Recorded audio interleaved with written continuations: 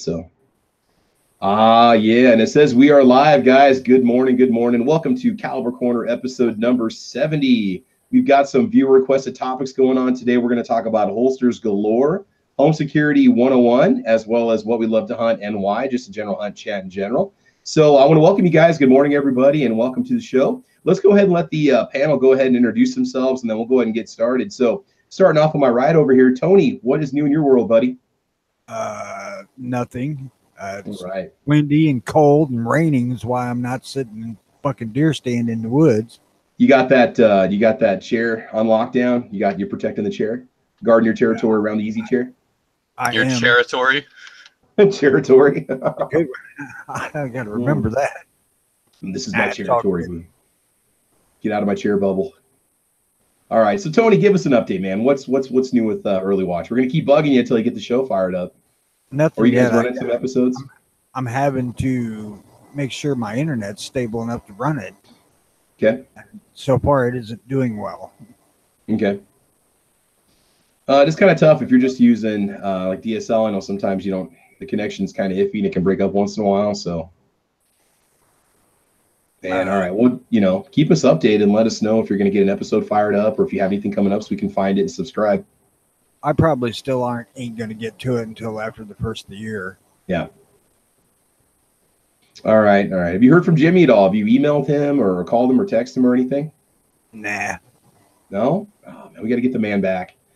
I got all sentimental when they played that footage on on Matt's chat the other night, where there was the the Travi chat, and there Jimmy was on that one, and I was like, man, we miss I miss Jimmy. Got to get him back, man. Got to get him back.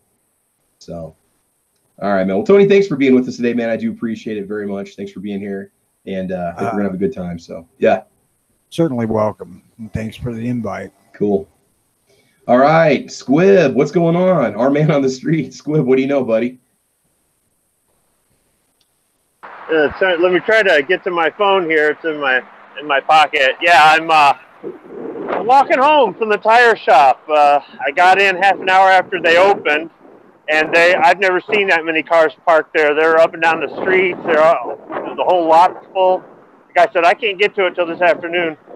I said that's fine. I got two feet, so I'm getting my morning exercise. Dude, how far do you have to walk? I'll come get you. Yeah, no problem. I no, I told Um, you, I was we were joking in the pre-chat that this looks like the body cam footage you watch on YouTube. So it's Yeah, you know, you guys get to see all my hangouts. You know, there's Taco Bell, yeah, there's my bank. that's awesome, man. It Yeah. kind of looks a lot like Nebraska. It really does look very similar. Seeing some similarities there, man. we got more trees. We got more trees you. got. yeah, yeah, probably. Yeah. Hmm. All right, man. So, Squib, where can we find you? Where are you at out there on on YouTube and gunchannels.com? Where can a person find you? Well, I've got a channel, uh, Squib Load, two separate words. It's not the first one you find when you type it in. Yeah. Uh, I don't have uh, the best quality videos, and I haven't released a video in about two months. So I'm, I'm actually working on one right now. Good. Good. it's not going to be that good. I've already kind of gone through the rough, and I'm like, man, I'm just not getting any better at these. But uh, yeah, I'm I'm working on on one right now, and also I finally got on Gunstreamer uh, thanks to Obnoxious One. So uh, I just posted two videos over there, but it's the same stuff I have on YouTube, so it's nothing nothing special. you know it's still a, it's still a different audience so you got a you got a different crowd than than what you typically see in youtube which is cool there's a lot of the same people but there's a lot of new people and there's a lot of people that have been on you know gun streamer since day one which is really cool This video that's in progress is this a Squib the Streetwalker video? No, actually, Tony, your voice might be in the background because I'm taking cuts from the lobby where uh, I was live on air shooting that deer. So, remember you and I were trash talking back and forth?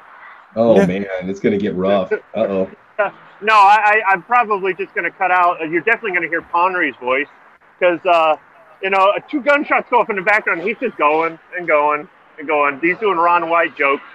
So I'm not sure if I want to, you know, put in a, a minute and a half uh, cut from the lobby or just like maybe a 15 second clip. Probably just a 15 second clip from the lobby where you can you can hear the rifle go off. But uh, yeah, I, I downloaded that and and uh, you you were like, uh, "Did you get lost in the woods?" it's pretty funny, Tony. So uh, I, I'm calling that uh, Gun Channel's first blind pop because I was in the blind and, and, and you know it was live ammo. So There you go. There you go. That sounds awesome. like uh, challenge accepted in a month here, Travis. I think so. Yeah, I think you so. guys better be in the lobby. Oh, we'll be ready to go. We'll be ready to go. I No, no, no. uh, Have your phones charged up. Get a battery pack. That's uh, something I bought Yeah. beforehand was a battery pack, and it worked great even in the cold. Yeah. Uh, but uh, keep your phones keep your phones charged up, and uh, just jump into the lobby, and just uh, uh, we can hear we can hear your uh, activity in the background there. I don't know about the I lobby. hear. Both that'd be cool if we both just go live from like a. Hell, I can hear it right now. Be very, very quiet. We're hunting deal. Daniel, pass me my wifle. You can't have my wife. No, m- wifle. oh man. No, and, and you know what, Sandra? Watch it. We'll love it so much. We'll end up making a show out of it or something. oh god. Dear- Sand dear Hill chat. Shooters. Spring Hill Shooters is sponsored by Mossy Oak Realtree. And Deers oh, yeah. Unlimited. There you go. And the NRA. And All PBR. right. yeah. Hornady Munitions. Yeah, there you go. There you go. Yep, got to have all the generic sponsors. Jack Link Sausage. All right. So, Squib, thanks for joining us, man. I do appreciate it. As Yeah. always, man, it's great to have you here. So, Thanks Uh, for the uh, thanks for the invite as usual. no problem, man. All right. Sandhill Shooter, what is new in your world, brother? How you doing, man?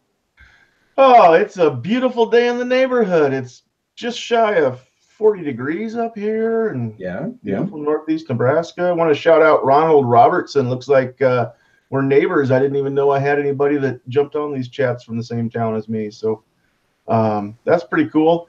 I will be heading into work later today, extended holiday hours, so I don't go in quite Okay. so early. So here after a while, there'll probably be uh, two of me in the chat for a second, and then I'll be on the road heading in. Cool, man. So, if uh, we want to check out your channel, your shows, where can we find you? What should we be looking for?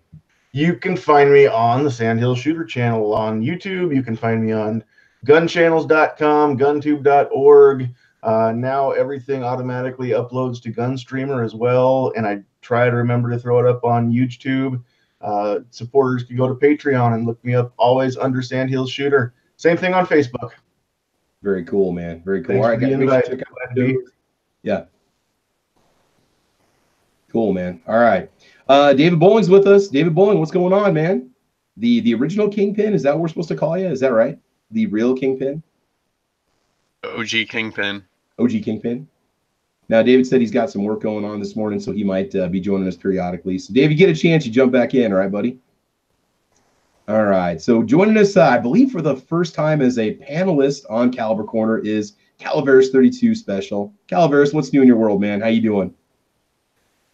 Uh, you know, besides you know trying to dodge all the uh, idiots out here in California, you know, uh, doing pretty well. You know, you know, I appreciate the invite there, Travis. Cool, man. So, your channel, tell us about your channel. Uh, any live streams that you do? What, what, what, what, where can we, what can we find if we go check out your channel? Um, most of the- stuff I've done so far has been reviews. I've done a couple of lives here and there. Just not, you know, I need to try to get one scheduled as a uh, regular thing, but as of this point, that hasn't happened yet. Uh, I try to jump in on, you know, uh, two A Tuesday with Sandhills when I can. Uh, there's a few other ones periodically. You know, I get invited over by you know, you know, to unloaded media occasionally. Sure. Uh, generally speaking, you know, uh, the type of content I put up on my channel is just anything I happen to find interesting. It's not explicitly one thing or another. Uh, I've actually got, you know, uh, I broke it into a few pieces, but I've got some videos coming up, you know, uh, from footage I shot as- on a GoPro from my last Spartan run, you know, here last month Yeah. uh, which is a obstacle course race that I run Cool. every year. But other than that, not a whole lot going on. Cool, man. All right. Well, guys, do make sure you check out his channel and, and always, you know, make sure you guys get over to gunchannels.com. We're all over there. You can follow us over there. Uh, guntube.org. We're over there too. And uh, last but not least, AWAG. AWAG, what's going on, man? What do you Hi, know? How you doing? And we're we're staying busy as usual. So, oh, the uh, the tactical rooster just showed up. So we'll get back to you in a sec. There, Giz. AWAG, tell us about your channel. What kind of projects you got going on? What is Uh, new? What's new in the neighborhood? channel, uh, it's kind of boring right now. There's not much going on. Uh, I do have projects in the work in the works. Uh, I'm building a Romanian PSL that I'm currently getting footage of. Uh, instead of the 24 inch barrel uh, on the standard PSL, I'm going to have the barrel cut down to 18. So it will be a semi-automatic flamethrower, essentially. Oh my, that is awesome. So who's a gunsmith that's going to do the work? Are you going to cut the barrel down or what? Um, I don't have a lathe in order to cut the barrel down, so Mhm. I'm going to send the barrel out to get cut down. Um, It's it's a local shop here uh, in South Jersey. Um, I'll have more details about that later, but um, yeah. So after the chat today, I'm going to go to the range and hopefully get footage of me shooting the uh, M72 RPK that I built a while back. So stay tuned for that. Other than that, thank you for the invite. Cool. No, man, it's always great to have you here. Uh, I wanted to wait to do the uh, attendance because we have so many people that join in the, the show, you know, a couple minutes after we get started. So let's give a little recognition to the people that are joining us here. Let's see, what's, well, I, I don't know. Midnight Range is, is all Midnight Range. I, I sent you an invite this morning, buddy. I guess I don't invite you, Hump Pickle. That's it. We're over. Oh man, I don't know. There sounds like we got some divorce plans there. Uh, Richard Chamberlain's with us. Sketchy Rolls with us. Tacos and French fries in the house uh, Sandhill Shooter there and here, Rich White again, Gasper Ajnik is with us, uh, Stephen Dawkins, Ronald Robertson again. Uh, good morning from Nebraska to you too, sir. Uh, TT Mama 502 in the house. Patrick G's with us. Uh, GM Tools, Cadillac Jack, Calaveras is there and here. Stan Voldenall's with us. Good morning, Stan. How you doing, Stan? Thank you for the T-shirt, man. I do appreciate it. Always love any kind of uh, firearms-related clothing I can get my hands on. Uh, Sketchy Rolls in the house. John Brown Productions is with us. Scott P79. And the first person checking in is Two Live Moo. And then let's go on over to the uh, gun channel side and see who's with us over there. Tony was over there right now. And we've also got Paper Plane Crash in the house. Sandhill Shooters over there too. Ohio 45 ACP looks like you're online. So hopefully you're watching this also. So again, uh, the, the the topics for today, we have not had a holster chat for about six months. And the uh, the holsters that that I, that I use, that I carry, um, have changed quite a bit. I've, I've really, I used to just do straight up standard hard shell Kydex. This is a Klinger Stingray V3. Uh, just kind of what I used was the Stingray series, but I mean, I've changed quite a bit my outside the waistband holster, holsters, inside the waistband holsters. So just kind of uh, some preferences. Do you guys have any any good recommendations for an outside the waistband holster? And again, I know that there's probably going to be uh, maybe some jokes going on about, well, you shouldn't have this holster, that holster because it's cheap or whatnot. But it's kind of interesting when I do holster reviews, the reactions that I get from people. There are some where people say, "Why would you use that? You know, that holster's junk," or "Oh, that that's a great one." So I just kind of want to run it through the room here. Tony, what what is your preference for a holster? And I know we had, you know, we'd had this discussion six months ago, but again, these are all, you know, viewer requested topics. So Tony, what do you I, think? uh, Yeah.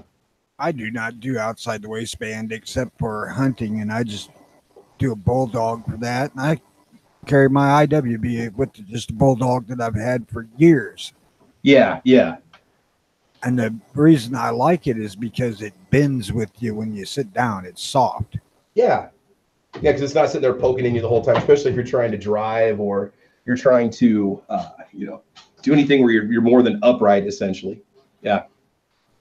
Uh, and I'm completely happy with the thing. So Yeah, yeah. Cool, cool. I do apologize, guys. I'm just making a few little adjustments. I got a new webcam here that we're using, so it's gonna take some time to get used to it. So yeah, so you know, you don't have to uh, break the bank when it comes to a holster. You can just get with whatever's gonna work best for you. You know, you don't have to spend a lot of money on it. Uh, one of my favorite ones, and again, we can all laugh. Uncle Mike's, right? Got it at Walmart to use it with multiple guns. This is just my range holster. Uh, if I just want something simple or comfortable to throw on, I don't even have a strap over the top. I just drop the gun in and take it with me. You know, these are 15 bucks. It fits multiple firearms. It does a really good job. You know, if you don't want to, you know, you can just go pick up something local at Walmart and things like that. So, uh, Squib, what about I you? will- Oh, go ahead, Tony. Yeah. I said I will add one thing. You want to get a, a thumb brake holster. hmm You're carrying IWB because Oh, that's yeah. the only damn thing open. True, true. Well, for inside the waistband, I mean, if you've got uh, Kydex going on, you've got the natural retention or the adjustable retention that you can use too. So, I mean, it's not like you have to have a any kind of a strap going over the top of the firearm. Well, there's no adjustable retention on uh, Uncle Mike's or Bulldog. Yeah, this is true. This is true. But I mean, if you've got the strap over the top with the Velcro, you can make it tighter. You can make it uh, looser if you want to over the back of the firearm. I just don't have the strap on that one. I suppose you could cinch up the belt tighter. I reckon. True. True. Yeah, this is true. Yeah, that would definitely work out well for you. So again, for uh, recommendations, Tony's had good luck with the uh, the Bulldog holster, so that's definitely one to check out. Only Right. holster I own is an Alien Gear Shapeshift. Uh, that's where I currently have it set up as an outside the waistband, just because you know uh, when I've been out shooting with buddies on uh, family on his family's farm and whatnot, I carried it out there just so I had it with me because I was practicing with it a, a bit. Um, as for is it the best thing out there? No idea because it you know uh, I don't have anything to reference it against, but Yeah. it seems to work just fine. It you know, uh, holds close to the, you know your body so it doesn't get caught on stuff. It has the ability for a level three retention if you want. Uh, I don't know. I chose it just because of flexibility. It gave me some I could experiment with it a little bit and figure out what I liked. hmm That'll work out well for you. Uh, we do have a super chat already from Boob Sweat. Uh, what does everyone think of Savoy leather outside the waistband holsters? Guys, do you have any experience with that brand, or are you guys familiar with that brand at all? I mean, there's so many different brands of holsters that are out there. I'm not. My dad has one for Kimber. Uh, I, I guess it's okay. I've never really, you know, I'm not a concealed carry person, so Yeah. But I mean, like with your dad's, I mean, the fit and the finish has been good. It's broken in well. I mean, it looks nice. The everything is decent. You know, again, you want to you want to do some maybe asking around a little bit at the gun shop, or just do some read online and see what they what they put into the actual production of it. You know, what grade of leather are they using? Do they double stitch it? What, you know, if they've been around for quite a while, there's there's a chance it might be a decent uh, a decent company to go with. You know, when it comes to the the leather holsters too, I mean, you can spend a lot of money. You can spend as little as say 50 bucks all the way up to, you know, whatever you want, hundreds of dollars on it. Uh, especially if you get something that's custom made for for your firearm. Um, so, but yeah, I mean, yeah, as for that, I mean, so so so Boob Sweat, there's an answer for you. Somebody that actually has some experience with it. So, you know, check into it a little bit. See what their return policy is. If they let you send it back after 30 days, and if you're not happy with it, uh, do send it back. If it's because you know nothing's worse than picking up a holster that that's just not going to work for you you know you don't want to go with something that's just gonna gonna give you issues you're gonna spend a lot of money on that's just not gonna work so obviously you know uh squib do you have any preferences in holsters at all what do you like to go with What I like is probably really unpopular. Big surprise there, huh? Uh, I like hey man whatever Well, works you know I like military issue flap holsters. okay oh geez. Okay, you got me you got me scared there. I thought he was gonna say something else uh, to walk in the footsteps of a Navy SEAL. oh yeah there you go urban Uh, carry no, no. urban I haven't carry, uh, carried. I haven't carried concealed in 11 years. Uh, yeah. you know, people say, "Oh, flat holster, you can't draw fast." Dude, I don't care if you gave me a speed rig. I can't draw fast. So for me, you know, for me, uh, I'm just I'm not Bob Munden, okay?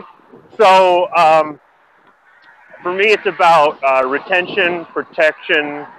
Uh, it's it's about uh, whether I'm carrying it while I'm walking the dog or whether I carry it while I'm hiking. It's not getting scuffed up, scratched up, things like that.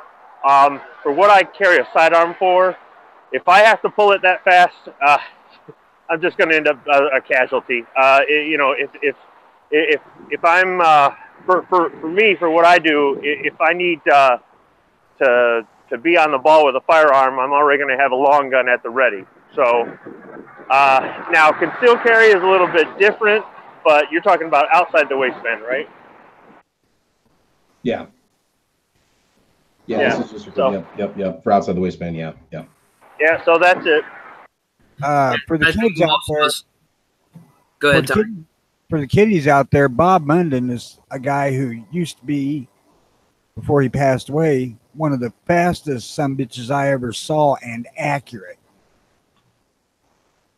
He held the world record for a long time, didn't he, for the fastest draw? I think so. And he could pull the gun, shoot it, and hit what he wanted to, too, that damn fast. I saw him when I was a kid. That dude's awesome. I saw him hit a balloon at 600 yards with a snub nose 44 Magnum. oh my god what 600 yards, man. That's like tall tale Yep. stuff. Seriously? Nope. I, I can't imagine what his holdover would have been, but yeah. Was that Yeah. on? That's probably like a uh, at least a three-story building uh, height or more. How long was the barrel? It was a snub nose, but how long? Oh, I- two inch, three inch, whatever. It was, it was a short barrel 44 Magnum, and he hit a balloon at 600 yards with that thing. Yeah, that's that's Like easily a- like a, like a a three or higher four-story building. like a hot air balloon or like like he, he, he must have balloon. lobbed it in there, but you got to imagine how many thousand shots did he do before he got to where he knew where his holdover was. I, I mean, because Elmer- uh, balloons, what, 10, 12 inches? You know? Elmer Keith dropped an elk at 600 yards at the 44 special. Oh my god. Yeah, see, that's the thing. Today, this is why I catch so much crap over the whole optics thing. Back in the day, people didn't have optics. They, they weren't available. They were there, there weren't as many. They weren't as advanced, and they they they were kind of out of reach. So people had to use iron sights, and you can and they they didn't have all this fancy ammunition and all this other stuff. Today we've got a technological advantage over that, and with optics and, and modern munitions and things like we can really really uh, amp up the game. But it is actually possible with enough skill and enough practice to to do some of these shots. It's not practical. I mean, you're talking about a lot of time on the range. You're talking about a lot of ammunition. You're talking about, but I mean, it's just like what they taught us in the military. We're doing headshots at 500 meters with iron sight, and the people are like, "Oh, 556 wasn't lethal at 500 meters." Bull crap, you know. But once again, it was a different time and a different. So all I'm saying is, even though the, the modern thing is to use optics and modern munitions, Well, modern modern bullets and stuff, it's still possible. well, th- th- think about this. Very valid point there, Squib. That's where it's the level of practice and proficiency. Nowadays, uh, there's a lot of guys that they want to buy skill. They Mhm. want to, you know, what they want to buy abilities rather than go out there and spend days on the range and thousands of dollars in ammo practicing. Well, Yeah. you you also start start thinking back in you know the day of you know early 1900s, whatever they had rifles ranged out to 2,000 meters, Yeah. and with a basically round nose, really heavy projectile that doesn't cut the wind, and yeah, you know you're not gonna you're gonna lob it in there at 2,000. You want you know mass on, on mass, but pe- people are hitting shit at a thousand yards. Sorry, hitting stuff at a thousand yards, and with a, a bullet that is basically ballistically um, um, efficient as a rock going through the air. And, and now with all the Spitzer bullets, like yeah, let's say you do have someone that has a uh, open sight something, but they they'll stick a high ballistic coefficient uh, round in there, push it real fast. Well, back hundred years ago, well, a little more than that because they had Spitzer bullets hundred years ago, but they had a round nose, two hundred and forty grain something moving at twenty two hundred feet per second, and you just gotta hold over and go. See, it's it's like this. I, I'm not being critical of people who want to buy accuracy. If you've got the money, and that's what you want to do, or you don't have the time to to practice, because that's my that's my biggest that's my Achilles heel. I just don't have the time. I know what I'm capable of, but I haven't got, gotten back to that level of proficiency because I haven't put the time into it. So I, I don't have a problem. Anybody who thinks I have a problem with that, I don't. But when you want to poo-poo some of the fundamentals because you think that's just old and antiquated, like my flap holsters. You know, it's there's there was there was a time where you couldn't buy accuracy. So that that's all I'm saying. Flap holster aside, Squibby, I agree with you on that. A person is a fool if he doesn't learn to use open sights at least somewhat. Yeah. And that's what I'm going to work on today is I have an AR-15 that I specifically put iron sights on it just so that I can practice with the iron sights. And I have an AK that's has only iron sights and has no optics rail, so I'm forced to use iron sights. I'll tell you something that a lot of people don't realize is if you have a s- optic on scope especially and it's fairly high magnification it's very hard to find a moving target in it Mm-hmm. You know, and Uh, that's what I like to do at the range is I sit out at 100 yards, even with my little 22 bolt action that has a scope on it.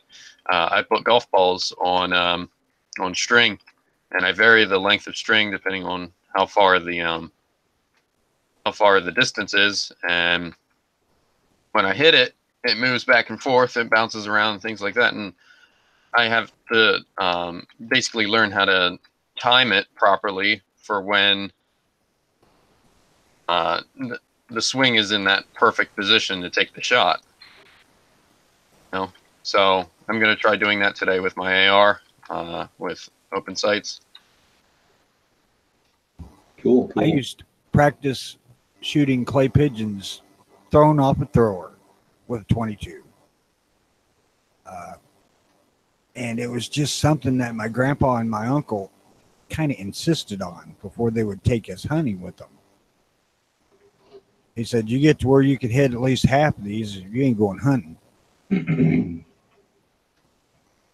I mean, it's motivation to to want to practice, huh? Motivation to want to be more proficient. Uh, they'd let us go hunt anyway, but we wouldn't be able to carry a gun. Yeah. I didn't mean to change the subject. It's just, you know, once you start talking about Bob Munden, he's one of the greats. So No, anybody man, out there what never man. heard of him, just Google him, look on YouTube, and you, you'll see some of the stuff. Yeah, And and he said his inspiration was, um, oh crap, I can't think of that guy's name. He had uh, a guy that that used to do exhibition shooting. Oh man, Ah, God, I I, can't I think. know who you're talking about. Yeah. too. uh, he had those clunky old Smith and Wesson revolvers, and he was doing trick shots. And it's on it's on old black and white film when it was all you know kind of grainy and scratchy. I can't think of the guy guy's that name. used to? Is that the guy that used to take his 22 rifle and and shoot pictures with it? Uh, might have been. I've only seen the guy. I've only seen footage of the the Bob Munden's inspiration uh, shooting revolvers. But I was I was just reading an article in the the back page of shooting times. I don't know what month it was. I was going back through the last year's shooting times, but they brought that guy up and and uh, that sounded pretty. That cool. may have been Munden. No, it wasn't Munden. I would have recognized that guy. He he retired in 1960. Whoever this guy was, so he could have been Munden's inspiration. Like to kind of fall back on on the level of proficiency with with this kind of shooting like I, I never even heard of this. This is new information to me. Uh, to have that level of knowledge and proficiency of a specific firearm to be able to pull off shots like that is just incredible to me. Well, now, in all fairness, some of these were done with shot rounds, you know, instead of bullets. Yeah. Uh, You know, but I don't think Munden did that, or the guy that Squib's talked about is his influence. and and I mean, if you look at somebody like Tom Knapp, okay, he used to say he did uh, fifty. He shot fifty thousand rounds a year with a shotgun to stay proficient. Now, I don't know if that included his ex- exhibition shots because he's traveling all over doing exhibition shots. And uh, I mean, for some people, fifty thousand rounds, a lot yeah. I mean, money wise, but he had sponsors though. That Munden Yeah. inspiration dude, didn't he go? Wasn't his wife a good one too? I can't remember. That sounds like the guy I'm trying to think of. She used to hold a potato in her hand and he'd shoot it off of her hand. Okay, we're not talking Annie Oakley. We're talking about one generation past. that. This Yeah, is somebody in the 20th century. Topperweins. There you There go. husband and wife shooting, you know, exhibition team. Is that one you're talking about? What was That's it? who I'm talking about. Yes. I didn't hear what you said, Calaveras. You know, uh, the Topperweins. It was a husband and wife exhibition shooting team. That's the only one I can think of that was a pair. Could have been. I'm gonna Google search it. I was just gonna say real quick, if uh, we're talking about Munden, we're talking about Tom Knapp. Byron Ferguson was another one with his longbow. Yep. No Yep. sights on his bow, just a traditional longbow. Um, I don't know if the show's still on, but there used to be a show on Outdoor Channel called Impossible Shots, and I'm sure you could YouTube that or look it up and find old episodes of Impossible Shots. But uh, it was cool because guys like Munden would set this trick shot up, and I don't know that they showed you every shot that they missed, but they'd show you how hard it was, and they would show some of the misses before they got their their money shot they were looking for. So Impossible Shots was a cool show to watch. Sound pretty sweet. So that's kind of like the the dude perfect, where they do all those crazy trick shots, but they I- don't really show how many times they mess up. Yeah. All right. Bring us back to our topic. I got Sure. to say that I do not use uh, OWB holster hardly ever. I always carry IWB, except when I go hunting. Uh, you know, because you were asking about outside holsters, and that's Yeah. not what I'm describing at all. It can be, but I don't use it that way. It's too damn flimsy for that. Sure. I gotcha. well, moving down the line, uh, Sandhills, what is your preference for holsters? What what experience have you had with different brands, and what what do you prefer to do outside the waistband, inside the waistband? What do you think? Are we covering both or just the outside right now? Now we can just we'll just do both. We'll just go ahead and throw both. of. What what works for you? Um, I've tried several. I've got that proverbial dresser drawer full of holsters right now. Yeah. The first, the first ones I tried were, uh, uh, I, I've got a sticky holster, which is okay. Mhm. Uh, I know other guys.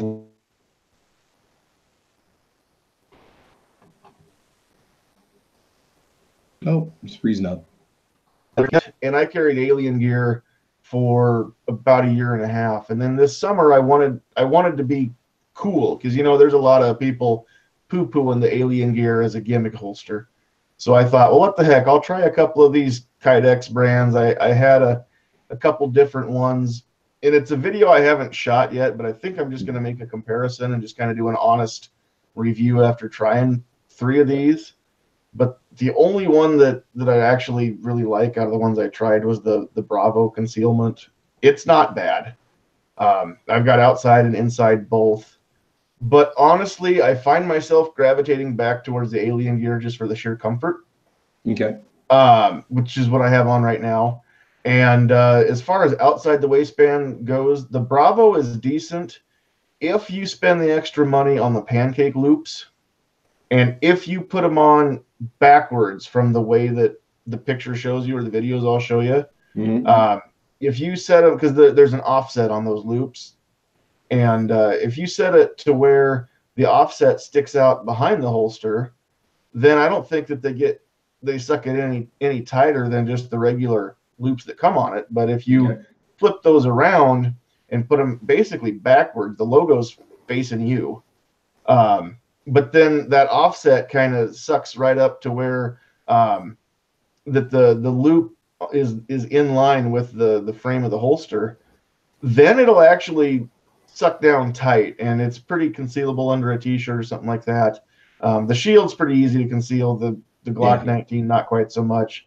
Yeah. But I find myself gravitating back to my first outside the waistband, which is a Blade Tech Total Eclipse Okay. and I find that carries just as close. It's about even on price. Bravo might be a little cheaper if you watch the sales, but Blade Tech Total Eclipse is a it's a good holster.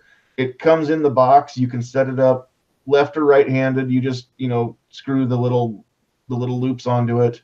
Um, it's got the little the little deals that come with it, so you can you can put a little bit of a forward cant to it if you like that.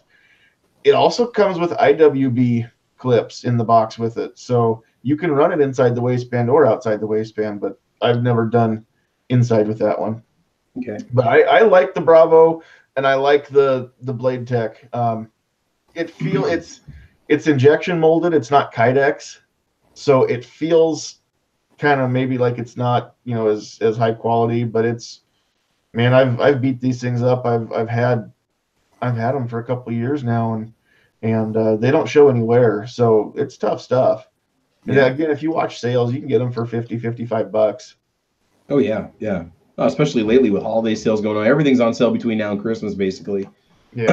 if you look around online when it comes to just different deals and what's out there and what a person can find. yep, exactly.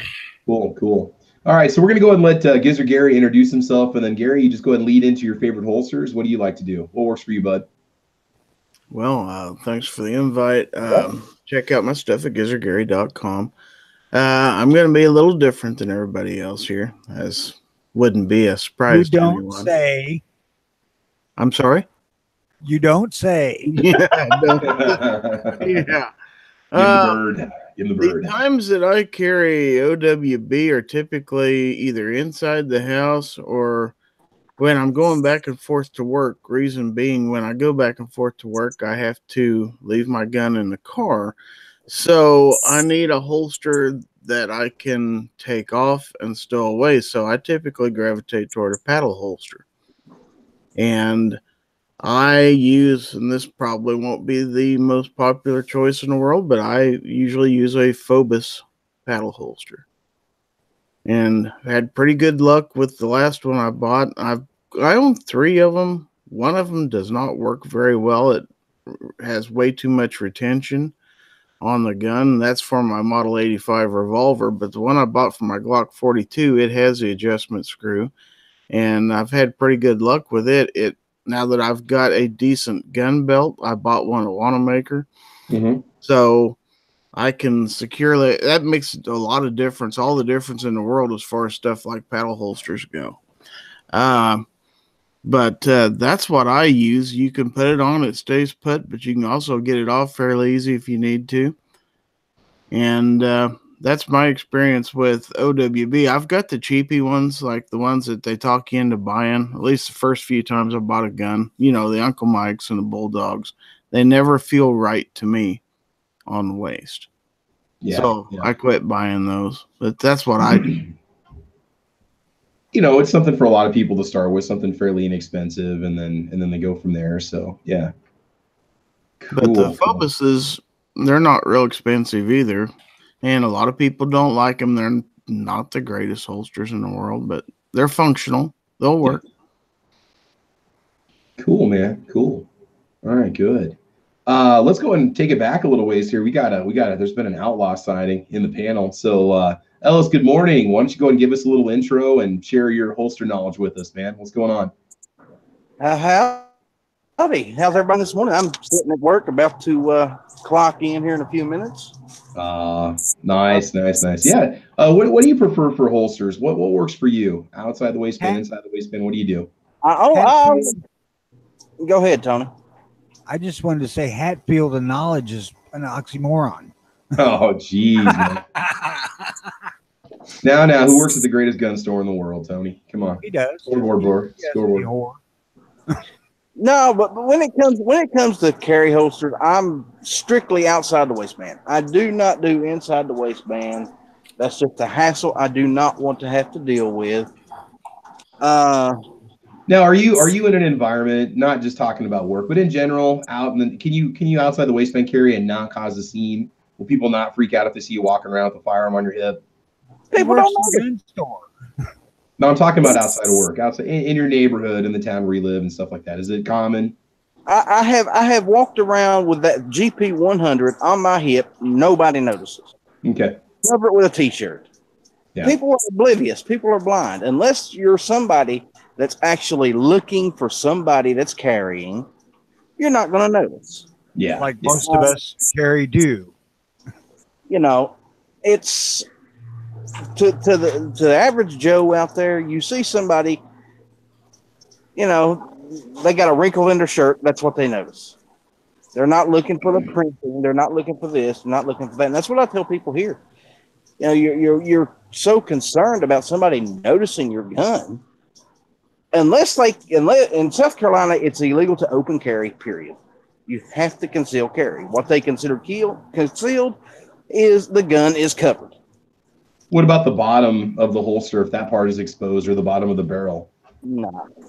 No. Okay. Okay. I mean, they can get technical and get you on something stupid, but yeah. Well, I think about it for a minute. If you're you're at you're at a store, Walmart, Home Depot, whatever, and they don't have a little sign up on the door that says no Glocks allowed. Thank God I wasn't carrying Glocks. Um, and you reach your hand up to get something off the shelf, your shirt rises up, the bottom of the holster is seen. You know, somebody might decide to panic. And laws that, that call that brandishing is crap to begin with. Yeah. Illinois did a clever idea when they did our concealed carry law, and they said concealed or partially concealed, and they left it really vague. That's good. You know, what is partially concealed? Uh, the butt sticking out of the gun, so I don't have to put an overshirt on it, or what? Yeah. Well, I think that's good because there have been people that have been arrested that I've heard about. I don't know, maybe it was in California. Calaveras, you might want to chime in on this, but there were people that have, you know, lifted up something or their shirt blew up and, you know, wind or whatever, and their gun was there and somebody saw it and freaked out and, you know. Yeah, that's where you- uh, if you run into one of the uh, cops that have nothing better to do.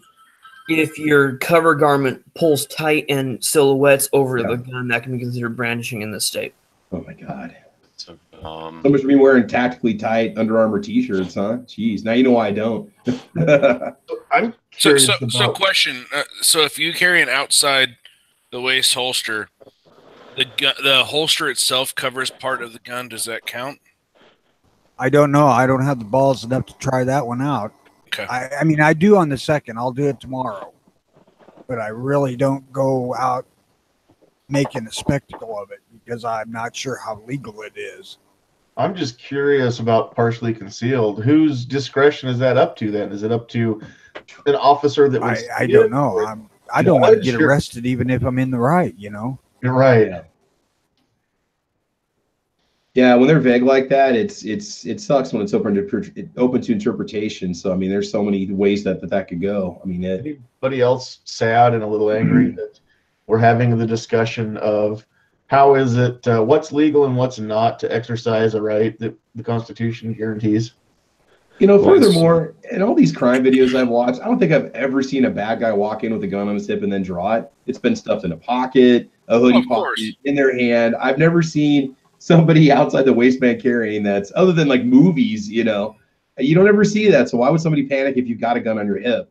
I mean, if you're gonna go do something stupid with a firearm, you're not gonna take the time to put the proper belt on and position that holster properly and then go do your crime. I mean, it makes no sense whatsoever. You know, it's that Well, you're talking about Hollywood now, and you got to. Yeah. How many Hollywood movies have you seen where they don't even use a holster? They just yeah, stuff it but where down in do their they put that pants. gun and- anyway? Where does it? Where do they put that? You know?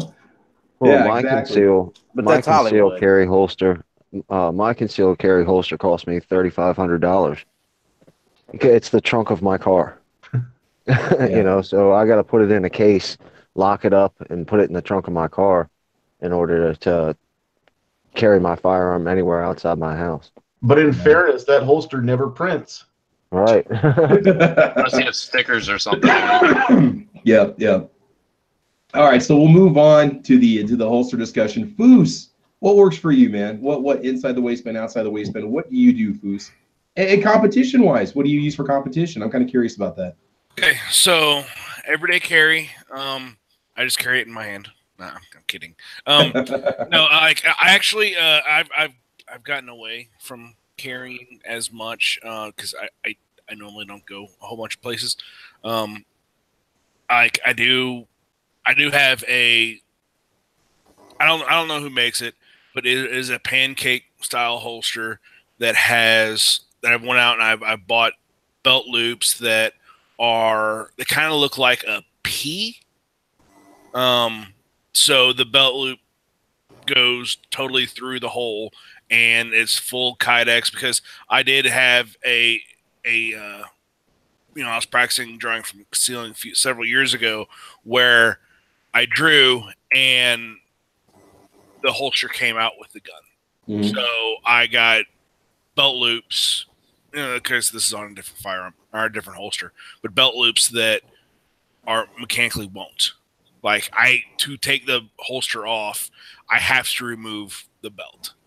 Um, so that's why I carry whenever I do carry. Uh, for or I do have a soft-sided um, holster that I could toss my revolver in in a pocket. Okay. I do have that.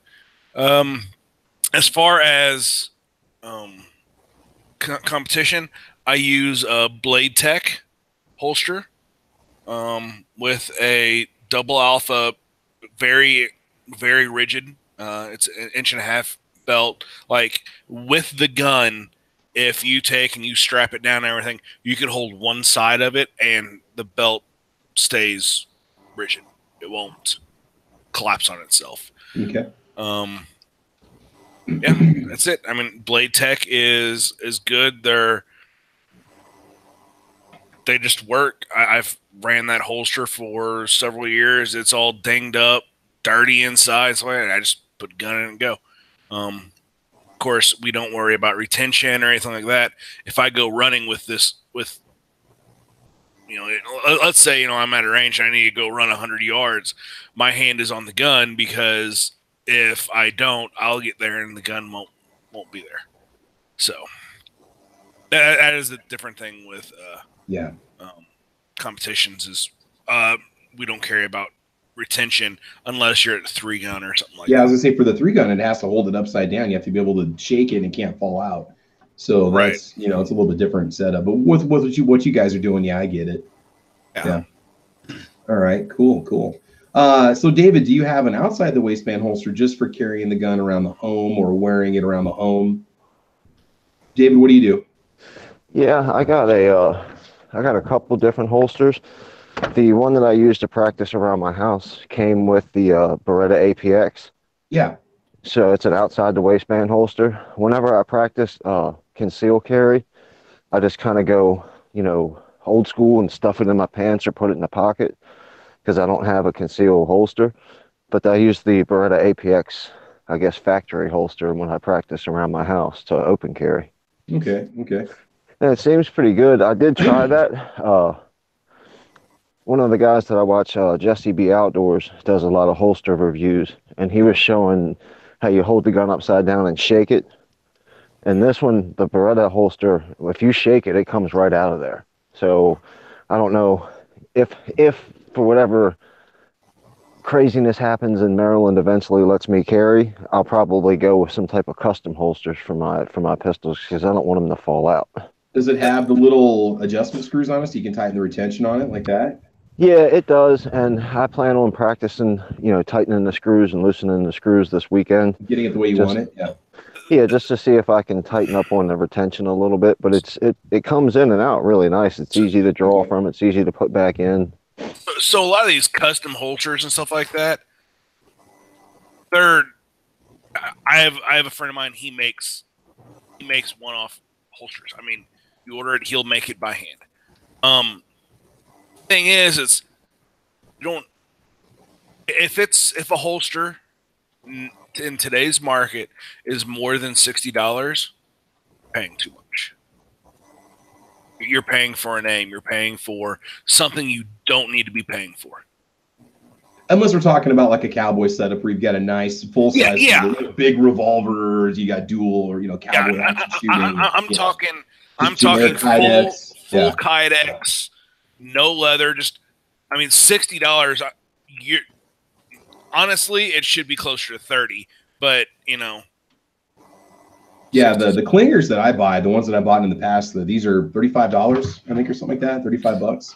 Yeah. Thirty five ninety five, and there's sometimes free shipping. So that's yeah. You know, I- you I actually- eBay. There's a lot of smaller for people that produce holsters that are on eBay. They're selling them for twenty bucks, and they're mm-hmm. they're custom made and they're not Chinese imports. These are people that have small shops on. Because you look, that's a great place to look for holsters, especially if you get a gun and there's no holsters around for it. If you go on eBay, there's a good chance that somebody out there makes one for it yeah, because I mean, can. because yes, like the machine to make a holster is not not crazy expensive. It's not cheap, so they do have to make their money back there. But the piece of Kydex, you're looking at maybe two two dollars worth of Kydex in there. Yeah, yeah. I mean, you- you're really paying for the person's time. And Mhm. That's that's the big thing of it. Well, and you know, you're buying something that's going to last potentially a lifetime. You know, I mean, it, it just you know that's that's part of the part of the price. Also, is what you're getting is the whole package when it's all said and done. Right, and, and, Uh, and people are like, you know, I, you know, I don't want to scratch it or whatever. It number one, if if you're carrying a gun that you were scared to scratch or get dinged up, you're carrying the wrong gun. Yeah. Or you or you don't. or Maybe you're carrying the right gun. Your mindset is just wrong because think of it as a- as a truck. I know people are going to be like, "Oh, I don't want to scratch my truck up," but it, it's it's a vehicle. It's made to be used. Used. it's going to rust and fall apart at some point anyway. I mean, there's nothing you can do about that. It's all unbeatable. These- They're tools. They're I can get if it's a collector car or if it's something exclusive or it's your weekend ride, you know. But Yeah, for the average person, just use on- it. I You're going to lose the resale on it anyway. If it's your everyday carry gun, then yeah, it's going to get beat up. But if you've got that really nice, you know, nickel plated uh, 1911 or, you know, uh, uh, M9A3 or something, you know, that's a little more expensive, and you want to carry it every now and then, it's kind of like having that Corvette in the garage that you take out every now and then. You know, when when you know you're going to be careful with it and you're not going to be uh, taking it through the rain or anything, then it's okay every now and then you're just going to be extra careful that day that you don't scratch it up. But But well, no, no, hold on, no, no, no, no, Then- hold on. Then, but but the thing is, let- let's say you want to take it out. You want to take this Corvette out. Let's say, you know, next Sunday. You're like, oh man, it's supposed to be nice. I want to take it out. Let's do this. You wake up that Sunday and it's piss pouring raining. Guess what? That Corvette's staying in the damn garage. oh, absolutely, and and you got to So- be prepared so- that So same with the gun. And then if something happens and you're out driving that Corvette and a deer runs in front of you,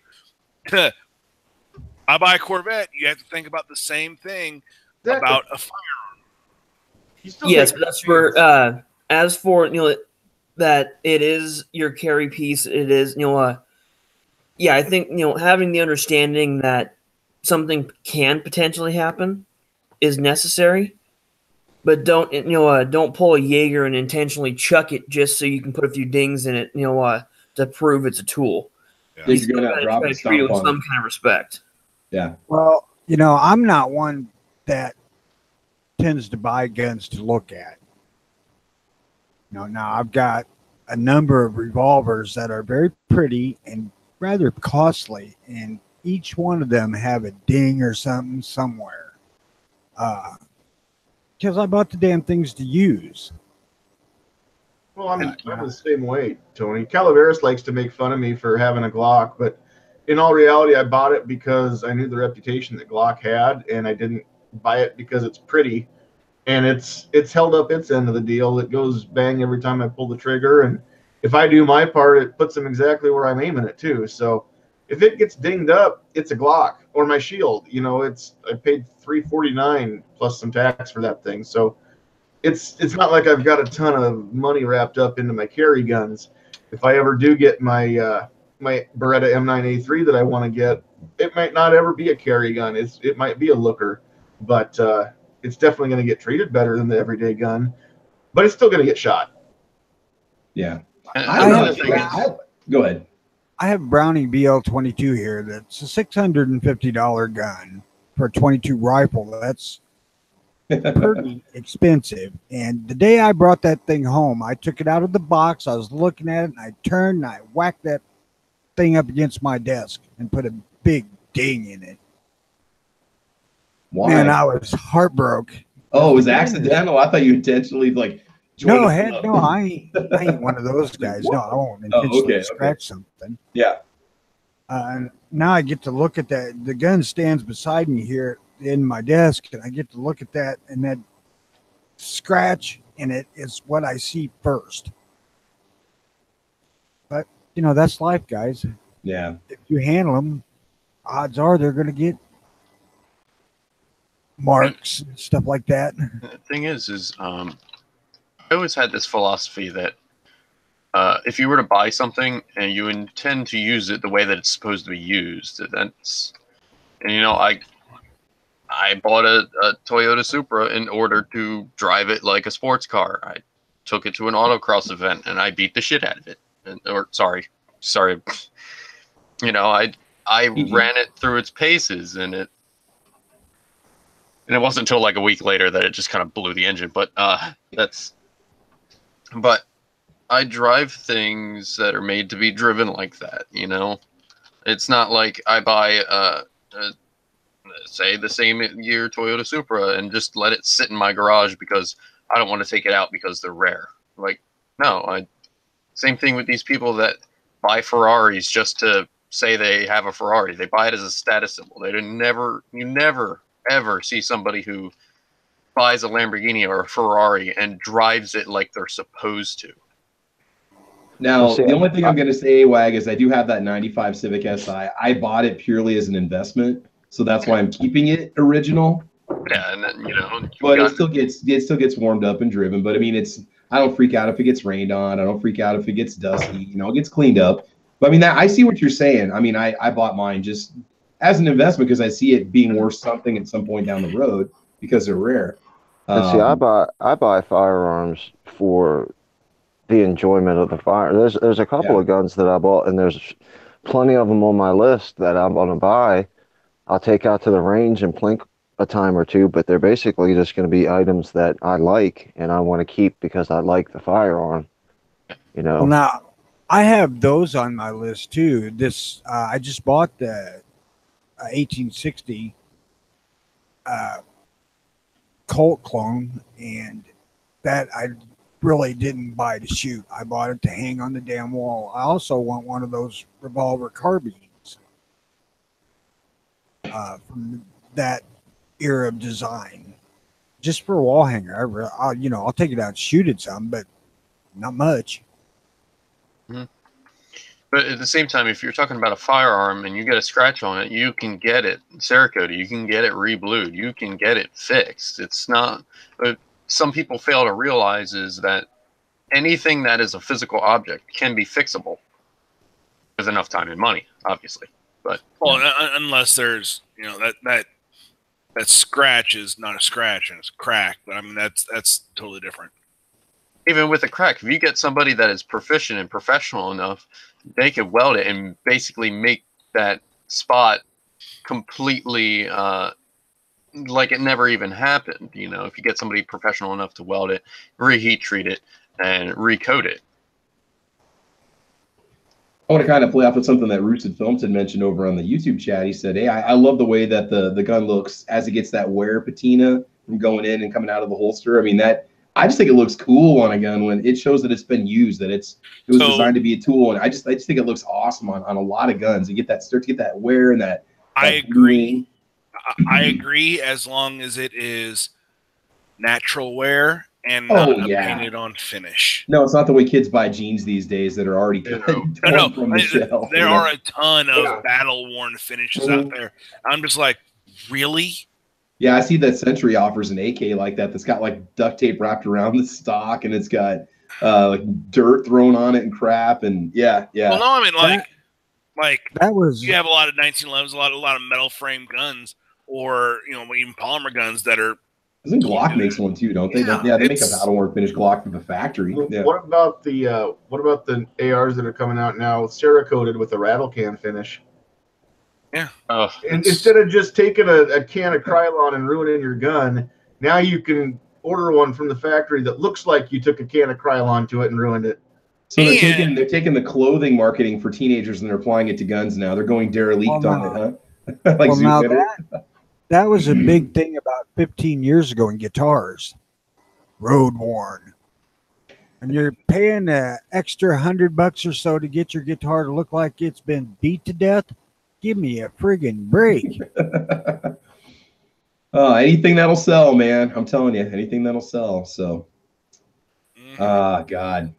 All right. Hey, let's continue with the holster chat. Hey, Calaveras, what works for you, man? What do you do? Can you get concealed carry in the county that you live in, or is it impossible? Yes, uh, I'm in Sacramento County, which is actually probably one of your counties actually to get it because our sheriff is actually supportive of it. Um, as for you said, what holsters? I'm sorry, I was yeah, yeah. What do you do for holsters? What works for you? It's all good. Uh, listen, at this point, the only holster system I have is the Alien Gear Shapeshift, Mhm. uh, and I've only worn it as an outside the waistband uh, around my buddy's farm. But that's where I picked that up so I could play with different things.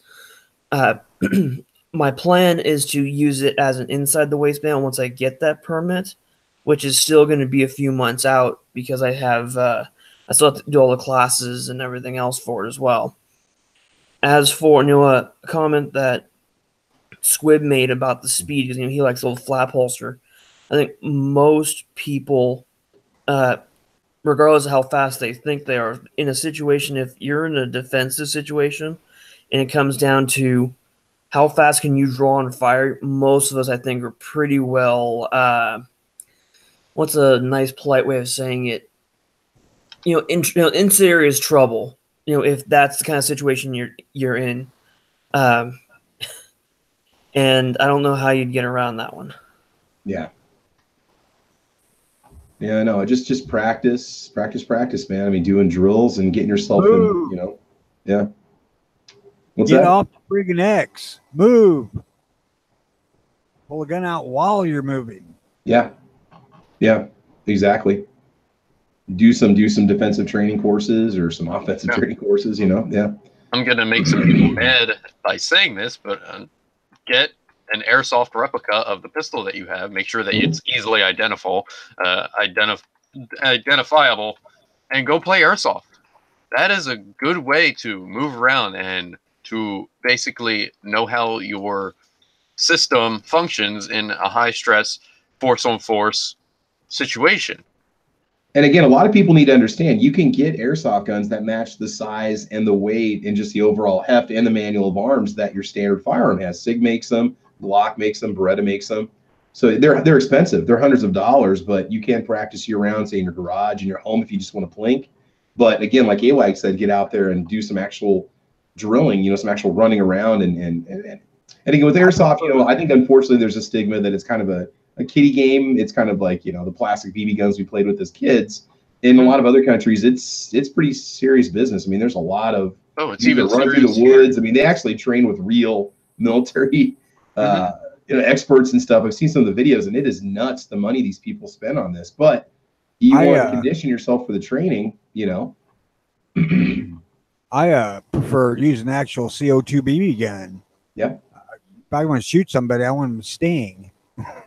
Well, you know, Airsoft hurts. It doesn't. yeah, yeah, it does. Even the cheap ones, uh, they're, uh, yeah, yeah. Yeah, Uh, Mr. how bad? You know, 'cause I've never actually been hit with an airsoft. How does that compare to like getting hit by like a paintball? It feels like a bee sting, uh, Yeah. but it doesn't resonate like a, a stinking uh, paintball. It stings. You know you get you know you get hit, but it just doesn't have that resonation. And it doesn't leave as bad as welts unless you wear And- and- thin t-shirts like I do. It depends on the gun. I mean, you've got some airsoft guns that only throw two, three hundred feet per second, or whatever. I mean, you've got then you've got some models that are very they're hop up or whatever they call it that are very professional grade that'll hit something at seventy five yards. You know. Mhm. So a, a buddy of mine is into the the airsoft stuff, and we went out to the range, and I want to sight this stuff in. All right, let's go. And uh, what was it? We were hitting 40, 50 yards, and it was still going through the cardboard. Yeah. Um, I'm like, okay, what feet per second is this? He's like, well, I mean, this one's set up for about 450, 500 feet per second. Yep. And I saw, like I said, you can spend. I'm not kidding. You can spend as much, if not more, on an airsoft replica semi-automatic gun. Right. Yeah. Just, I mean, you can drop the same amount of change on them. I mean, you can you can get an M4 that's that's three or four hundred dollars. That's an all metal replica gun. Yeah. You know, other than it's just it's amazing what what what the industry does. So I mean, it's something to consider. Or if anything, uh, you know, just just get a gun that matches your carry weapon if they make one, and practice with it in the home, or get something close to what you carry and you can practice drawing and shooting. And I mean, you're not obviously going to get the same effect, but some of them even have blowback action on them where the slides move when you pull the trigger. So, Yeah, my buddy has a 1911 like that. mhm. yeah, if you go around and look at, and, and a lot of these you can actually, you know, you can buy them on eBay. They're not banned on eBay or on Amazon. They're they're readily available. Go to sporting goods stores. They carry a lot. They've got a our Cabela's has an entire airsoft section. Um, I went to Bass Pro Shops. They had an entire aisle of airsoft guns, pistols, you know, uh, whatever rifles. so if you want something to kind of play around with, it's not a bad idea. I mean, you're going to get very similar kind of feel and uh, practicability. So, uh, so AWAG, real quick, AWAG, holster wise, do you have any holsters at all that you use that browse know, outside the waistband if you're on private land or on farmland or something, or what, what, what works for you?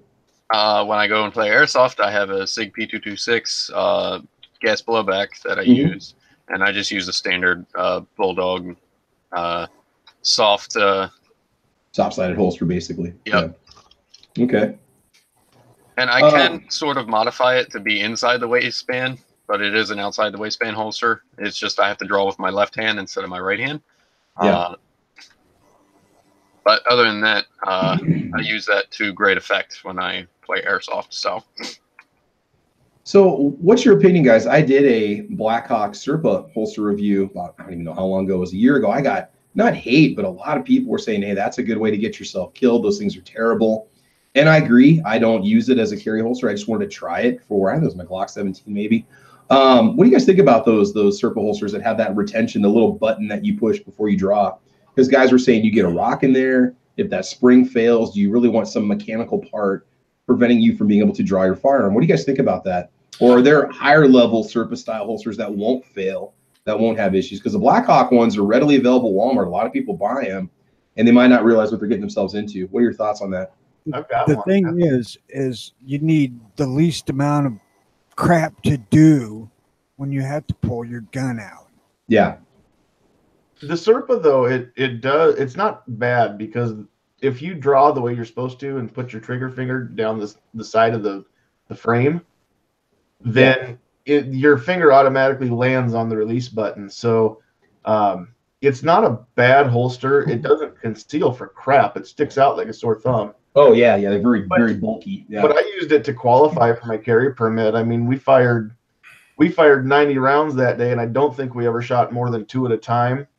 So I mean, we we holstered and drew a lot. So, Um, so I don't I don't hate it, but then it's not what I use for everyday carry. so, this is what we're talking about. If you guys aren't familiar with it, my issue with with it it's not the retention it's not well i mean it's part of the retention but it's not the the rock get in it or anything like that it's that you have to push inward on a button that if in a stressful situation you will overexert uh, pressure inwards and whenever you draw out that pressure inward on the firearm is extremely close to where the trigger guard is. And if you are overly stressed, you, you'll pull that out. You'll your finger will keep on going in. There is a chance that your finger will get inside the trigger guard and let off a round right down your leg. That is Now- my issue in a stressful situation. Everyday carry, it's fine. Practice, you're fine because you don't have that that level of stress. But whenever you start getting stressed, fine motor skills become gross motor skills. exactly, and all of a sudden, that little bit of pressure you putting on there, you know, oh, you know, it only needs like a couple pounds of pressure. You may be putting thirty or forty pounds of pressure to where once there's no more kydex to keep your finger away from your gun once that's gone, your finger is going to go in and maybe it hits the very bottom of your fr- of your frame and, and they'll slide into your trigger guard. And that that's why I don't like them. Now, Rushid is saying that he's carried one for over 10 years. He says the key is to not push the button with the tip of your finger, but the pad of the trigger finger. But again, you're talking about a stressful situation. Who knows what that surge of adrenaline is going to do to you when you Well- reach for that gun and you're not in 100% control of the Well, amount of force, you know? if you practice, you will go down to your um, lowest le- level of training. So if you practice and you train that way, it could be fine. But 95% or 99.9% of people that do have holsters are Serpa holsters most likely don't train to deal with it. Well, and what uh, what everybody was telling me on the review that I did is they said no, it's the reholstering that causes the gun to go off. So I don't know what it is about. Maybe it's the No. button. No, no, the, the, the button is in front of the trigger.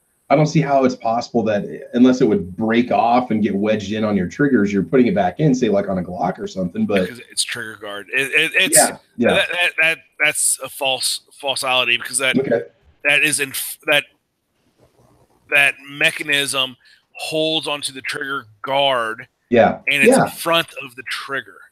Yeah, I mean, I, I guess if you're buying a universal Serpa, there's a chance that there's going to be extra play there that it might be. I mean, because a lot of times they'll list multiple models when you buy those things.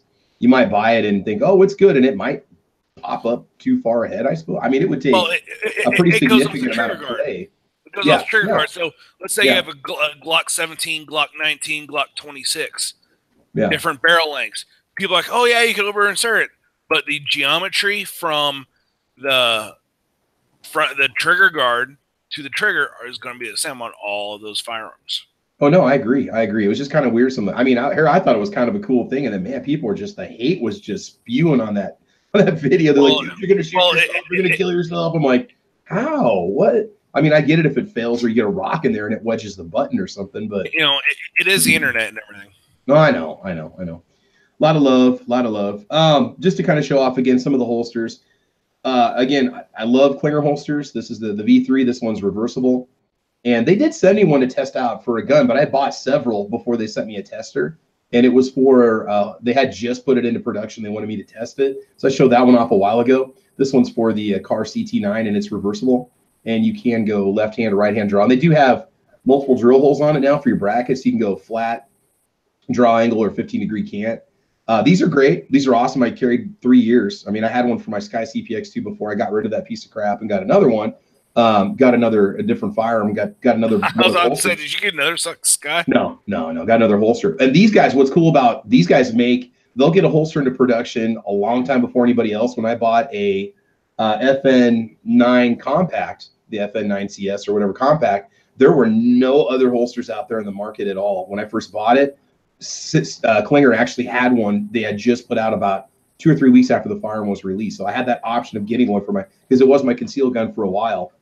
Um, and then, you know, for outside the waistband, when I'm at the range, I just want something easy to use, simple. I'm not running drills. If I usually what I have on me in the video, I'm either concealing in my videos or again, just the uh, the Uncle Mike special or Bulldog special. This is fine for just dropping the gun in and walking around at the range. I'm not tactical training or anything like that. Um, outside the waistband holster, outside the the waistband holster, I've got the Shooter Industries. And again, no, Sandhills, I have not sanded that down yet. But this is an awesome outside the waistband option. These guys make a really cool holster. Very, very beefy, very heavy duty. It's you know, with my with the proper carry belt on, this thing is just awesome. I could wear it all day outdoors at the range. That's usually what I do if I'm going to be out walking around and so on. Um, and then for inside the waistband holster, I have switched since switched from the Clinger to the hidden hybrid holsters. This is kind of that alien gear style, but this one's all leather. And this is my uh, Ruger EC9S. This thing is awesome. I love it. You can do outside the waistband or inside the waistband, and you got some suede on the back. With a shirt tucked in, it doesn't rub so bad to the point that I get any kind of irritation at all. And I've worn it all day. I mean, obviously not at my job, I can't. But if I had to, this is what I would use. And it tucks up nice and tight against my side. And this thing is stubby enough that you don't even notice it. I mean, it And I, I do have flat base magazine plates that I can put on here if I want that tip to disappear, so I'm not printing. But uh, this these, these are awesome. I love this one. And I'm, I'm not gonna lie, they did send me this one. This is the first inside the waistband hybrid style holster that I've ever used, and I I, I love it. If I mean, I was gonna go alien gear. That's what my stepdad uses for his carry weapon for his um, uh, PT 111 G2, and they're great. And you know, he bought his because of the plates. You can get the free plates. Do they still do that? Alien gear still offer you free shells? If Uh, you- get a different weapon, send your old one in. If you don't have a shapeshift, yes, there there is no uh, shell exchange on shapeshift. Okay, okay. So I, But if know, you got the older are nice. style, yeah. So that and that's a nice option. I mean, I, I probably should have just got an alien gear in the first place, as but they didn't have the shell for the FN9C. They might have it now, but they didn't back in the day. That's why I didn't go alien gear. Um, but uh, but yeah, those are all those are all recommendations that I have. I've had great luck with them.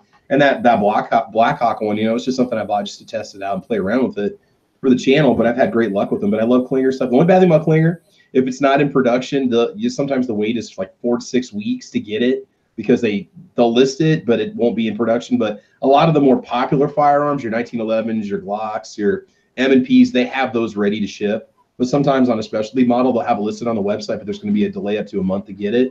But definitely worth the wait. I mean, they're they're awesome. They've got I don't remember what their guarantee is. I want to say maybe it's three years, but I'm probably off. But they do they do guarantee you're going to be happy with it.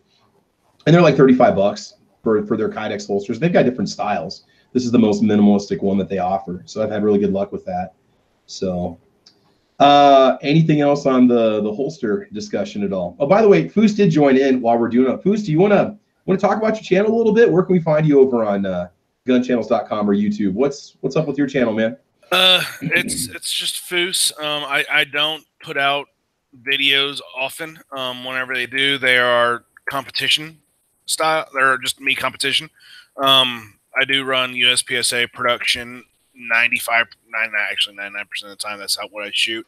Okay. Um, it's just place. uh, My videos are are mostly for me. It's I don't have any major content or anything like that. It's for me for a, just a different backup of of videos that I had. You know, it's, it's a it's another backup. And if I want, you know, if I am starting to train with someone or something like that, I'll go ahead and send them to my YouTube and be like, hey, here's my latest instead of sending them a bunch of files. Or if someone is interested, I'm like, here, this, you know, because, you know, you see some of these like JJ Racaza and Steger or Stoger, Steger, and then, you know, some of these guys that are professionals and do it, you're like, oh, I can never do that. But then, you know, whenever you start talking to someone that you actually know, and you're like, okay, here's a almost 300 pound guy running around shooting like this. I could shoot like this too. So it, it gives it to a little bit better perspective that, hey, this isn't a professional doing this. This is just a guy I know. I could do it too. That's Yeah. that's why I do that. Um. So yeah. Um, And I- uh, were you gonna? I, I was gonna ask you about this. Your little your little business that you that you're Yeah. working on is that up and running yet or not? Can you So- give us an update? Or I don't know what you're comfortable talking about. I'll leave Yeah. it up to you. So sport sports shooters am- ammunition. It is. I don't. I'm not going to have a website for a while. Um, right Okay. now, I am specializing in nine millimeter. It's my USPSA round. It's 124 grain. Sorry, 125 grain bullet, moving about a thousand forty feet per second. So a little bit. I mean, a NATO is the same weight projectile, moving at 1100. So I mean, it's not a wimpy round. It, it's not, but I officially I am open. Okay. Um, I'm not taking orders or anything yet because I I just got in boxes that Hmm. are legal to ship yesterday. Okay. Um, right now, like with getting all of my my practice ammo and stuff like that for the first quarter of the year, um, I'm out of brass. I am. I have about a gallon of brass left. So you got to be kidding me. You had shelves and shelves Well, garages. Didn't yeah, at one time didn't get married? There was no room for a wife. There was only room Yeah. for brass. What so happened? so so I that was 15 gallons of brass, Holy crap! nine millimeter. yeah. Um, Monday, I am getting in a 55 gallon drum of brass. So that, that'll come, work. That'll work. That'll be fine. Mon- so so that that's about that's about 87,000 pieces. okay. So come So- Monday, I'm going to start cleaning brass like a mofo, and Just got a shovel. Well, what are you going to do after lunch? yeah, no doubt, man. No doubt. So- So, yeah. So so once I do that, I have another. I have about I have about thirty five hundred projectiles here. I have another ten thousand coming. I have uh seven eight thousand um primers. So I, I and I already do have some loaded. So How once much- I get everything t- together, um, like gun channels and stuff like that, you know, I, I have an email set up. It'd be, I'll if people want some, I'll have a price. I'll put it up on gun channels. Um, it, it's what I'm looking right now is if by a thousand, um, it'll be $180 for a thousand, um, plus whatever actual shipping it is. So what I'll probably end up doing is I'll probably add forty dollars for shipping, but let's say it takes you know twenty dollars to actually ship it. You'll have a twenty dollar bill in the packaging as well. Dude, that's cool, man. So Uh, people are asking, what is your channel? Uh, what is your channel on YouTube? Can we get a plug over there, guys, on the the YouTube? yeah, it, it, it's just Foos. It, it's kind of harder to like if you just type Yeah. in F U S S, I did. I couldn't find it. Yeah. you're not going to see it because it's F umlauted U S S. Oh man, I don't know how to type that on a PC. Exactly, and I, I didn't realize that either. So if you put like Foos and then USPSA, Okay. you most likely will see me. Um, and the, the image on it is yep, the image on it is this the, the flaming muzzle as you see right now. Now I'm seeing an AMN Foos 4350. Is somebody jacking your material or what? What? Show There's, that. a, there's an AMN. Is that you? Walther Arms USPA. No, it says, oh, Nathan Foos, Harvard, Massachusetts. Oh, okay. That's not Okay. you. No, that's not me. No. Okay, so there's there's somebody out there trying to steal your because he looks a lot like you. Oh no, you're Really? looking than that guy. No, that's definitely an older guy. Yeah. Okay. Hey, Foos, Yeah. how much hassle do you have to go through to get the primers? I order them three days later. They're at my uh, door. Primers Hazmat aren't. fees and stuff. Yeah, it's just normal hazmat fee, twenty five dollar hazmat fee, up to forty eight pounds. I posted a link, guys. Don't worry about it. We're we're good to go. Yeah, I mean it's it's not. Um, I mean the, company name is Sport Shooters Ammunition. In fact, if you guys hold on, I will show you my There you go. logo. I posted the link over there on the YouTube side and put that over on the gun channel side. Okay. You Well- For your for your for your um, YouTube channel. So Th- This is my logo. So Sport Shooters Ammunition rolled in Arkansas. there you go.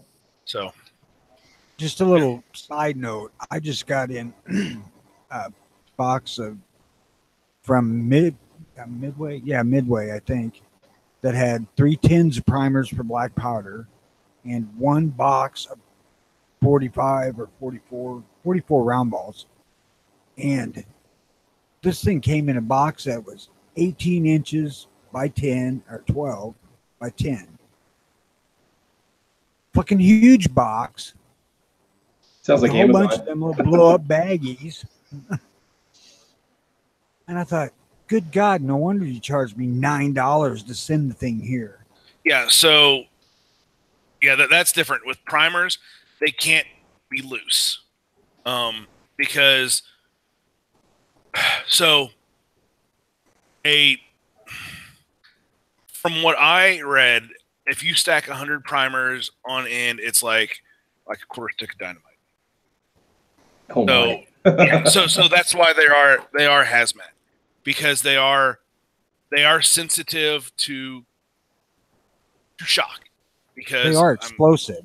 yeah um powder you think is explosive powder just burns really fast um so so I bought 48 pounds of pistol powder that was enough for about 80,000 rounds um and that was one hazmat charge like once I start selling what I have, my the next thing I'm going to do is I'm going to buy. I'm going to look into maybe like a hundred thousand primers. Order. So You own a fork truck? no, a hundred thousand primers is is not much. What I mean, just the, the paperwork and everything. Was it did, did was it did it feel like it was intentionally made inconvenient to discourage somebody from getting into what you do, or not? no, no. Oh, good. good. Um, the, the paperwork, as far as with the, the ATF and stuff like that, literally, if you have, if you have your fingerprints and stuff, paperwork's twenty minutes. You send it in. You have ATF visit you to go over some basic rules. Mm. Um, like I also have my FFL 01 as well. Uh, to make ammunition, you need FFL 06 to make ammunition or am- ammunition parts. Like uh, all these bullet companies and stuff, they are 06s um, because they make ammunition components. Projectiles is a component. So for FFL 06, I have the same thing. It's thirty dollars for th- for three years for that.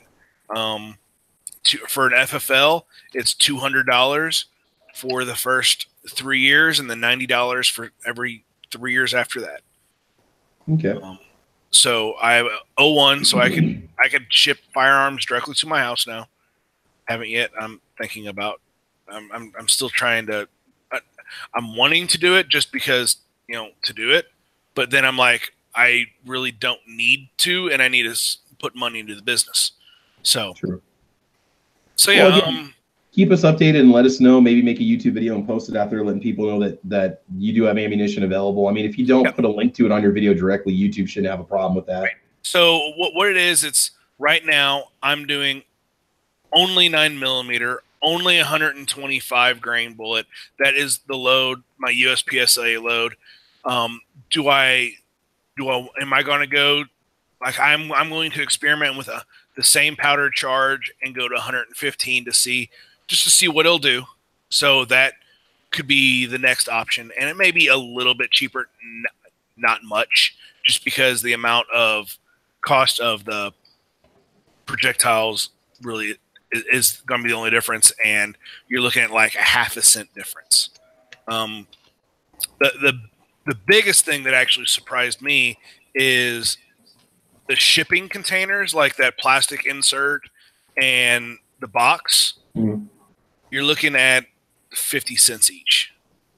Yeah. that that's that's the thing that kind of shocked me was okay how am i going to package these stuff like that um and it takes time putting in there and i want to have everything's ca- everything's going to be case gauged so it's not going to be um off the press and then into a bag or box or something like that Yeah. um, so I am going to have like, I do have different prices. So locally, I'm, I know a lot of a lot of you guys aren't locally, but let's say we take and we meet up at let's say Watermaker, and you guys want to buy a thousand. Um, I will have thousand round bags for cheaper, and it'll be it's a hand deliver type thing. But it'll be a one pl- one plastic bag with a thousand rounds in it. Um, What are you talking about? The actual ammo boxes being 50 cents? yeah, the ammo boxes, the that the, with the plastic trays and stuff like that in it. Well, you can get uh, the box with the styrofoam inserts like you buy at Walmart uh, for considerably less than that. I think they're Well, you also have to think if you're going to sit there and, I mean, I, I I'm going to try to be somewhat professional with this. So, I, I personally, I just think that looks cheap. So, that's that's how I look into it. Yeah. well, that's what Remington's doing and Winchester. And So, Yeah. But anyway, I don't know um, what kind of Oh, that's all hassle right. it It's all is to good. print a label on the So- cardboard box. Yeah so i mean I, I am i just ordered uh, labels for for the cardboard box to go ahead and put that on there. Um yeah so it, it's it's starting. I have not i'm officially open for business. I have not sold anything because of shipping. I was going to get with you first thing um well, as soon as i am ready to ship and stuff uh travis. Yeah. um I know we, we kind of talked about that, but as far as the paperwork, really it's it's not it's nothing really. Um I'm still actually the toughest thing about this shopping around for insurance. I still don't have insurance. So that's another thing that I am I'm very cautious about. Um I'm not I don't want to sell have too much out there until I do have insurance. Like, do I think one of these is going to blow up a gun? No, not at all. Uh, I, I have a powder check right afterwards, so I know I'm not double charging. Um, so I, I'm not worried about that. It's just what ifs. So I like Yeah. there are some people. I'll yeah, I'll go ahead and sell to friends, stuff like that. But I don't want to have, you know, have a website up and then all of a sudden someone be like, "Hey, I want ten thousand rounds," and all of a sudden something gets out there and them come back on me and me not have insurance. Yeah. So I'm Well, still you in the process of looking this- at that. in in, our, in a lot of the firearms manuals, it'll say do not fire, and, and I don't think it's a big deal, but a lot of them say do not fire remanufactured ammo in this firearm. If you do, you know it's going to violate your warranty. So any of us that buy remanufactured ammunition and shoot it, um, you know, that's just a that's just a chance you take. You're taking a chance just shooting the gun anyway. Well, You know, you could you could have it from the biggest companies that produce ammunition can produce double charge loads. Well, You know, yeah, yeah. I mean, you, you you do that. I've had squibs where it was just a uh, just primer in it, and I was like, because I, I know what that is. I, I've shot those. I've made some of those on my old on a different press. Mhm. Been there It myself. happens. Um, but press I have, I have a powder check right station before. If the powder check level is too much or too little, the machine stops. So at least that's that's one good thing about Yeah. this press. If like because I do pick up stuff off the ground. Let's say there's um a spider guy in there made a spider web, you know, what which that will go through cleaning, that will go through you don't even realize how how well those spider webs will stay in a in a brass case. You'll even punch out the primer, put a new primer in through that, you get to the powder, and all suddenly you have too much volume in there because a third of the case is spider web. cobwebs. Guess what? Yeah. My machine will stop. Mm. So Okay. No, man, no, that's cool. Yeah, just give me a holler and let me know when you're ready, and I'll, I'll buy a couple boxes and test it out, and, and we'll go from there. So.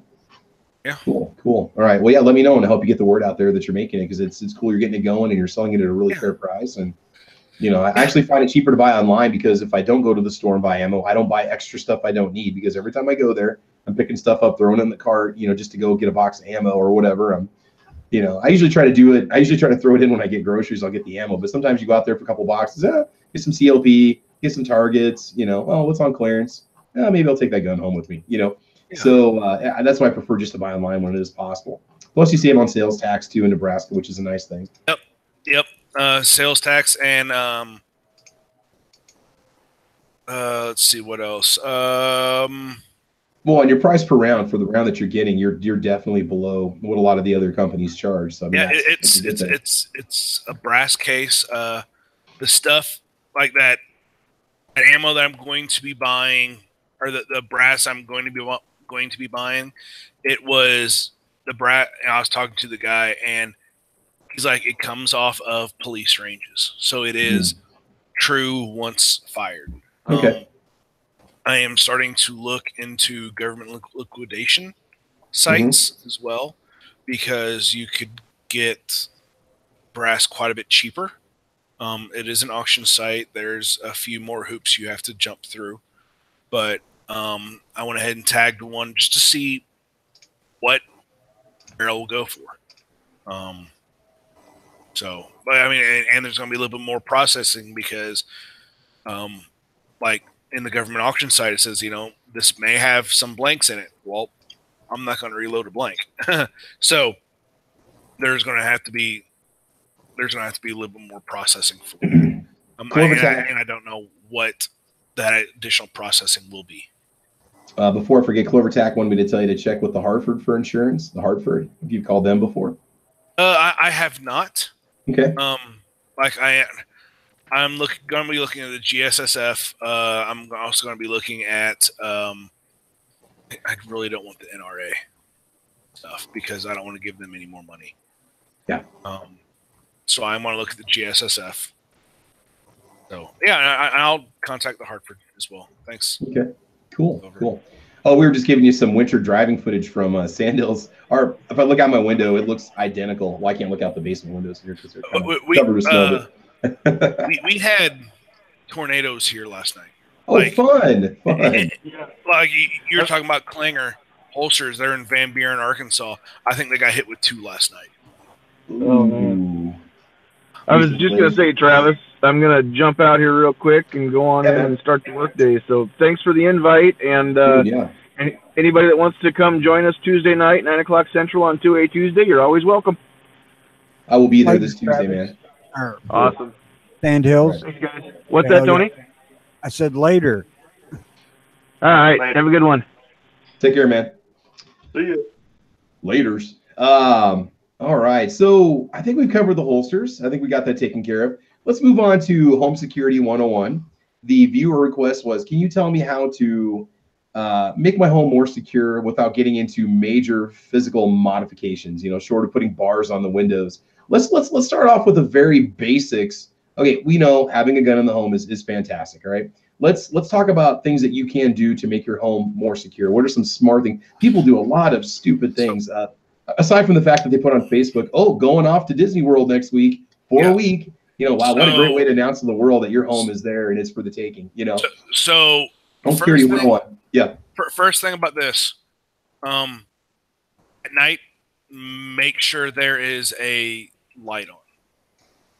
So if someone is inside your house, someone outside your house can see if there's a burglar or something. Um, don't have your house, your yard littered with shit.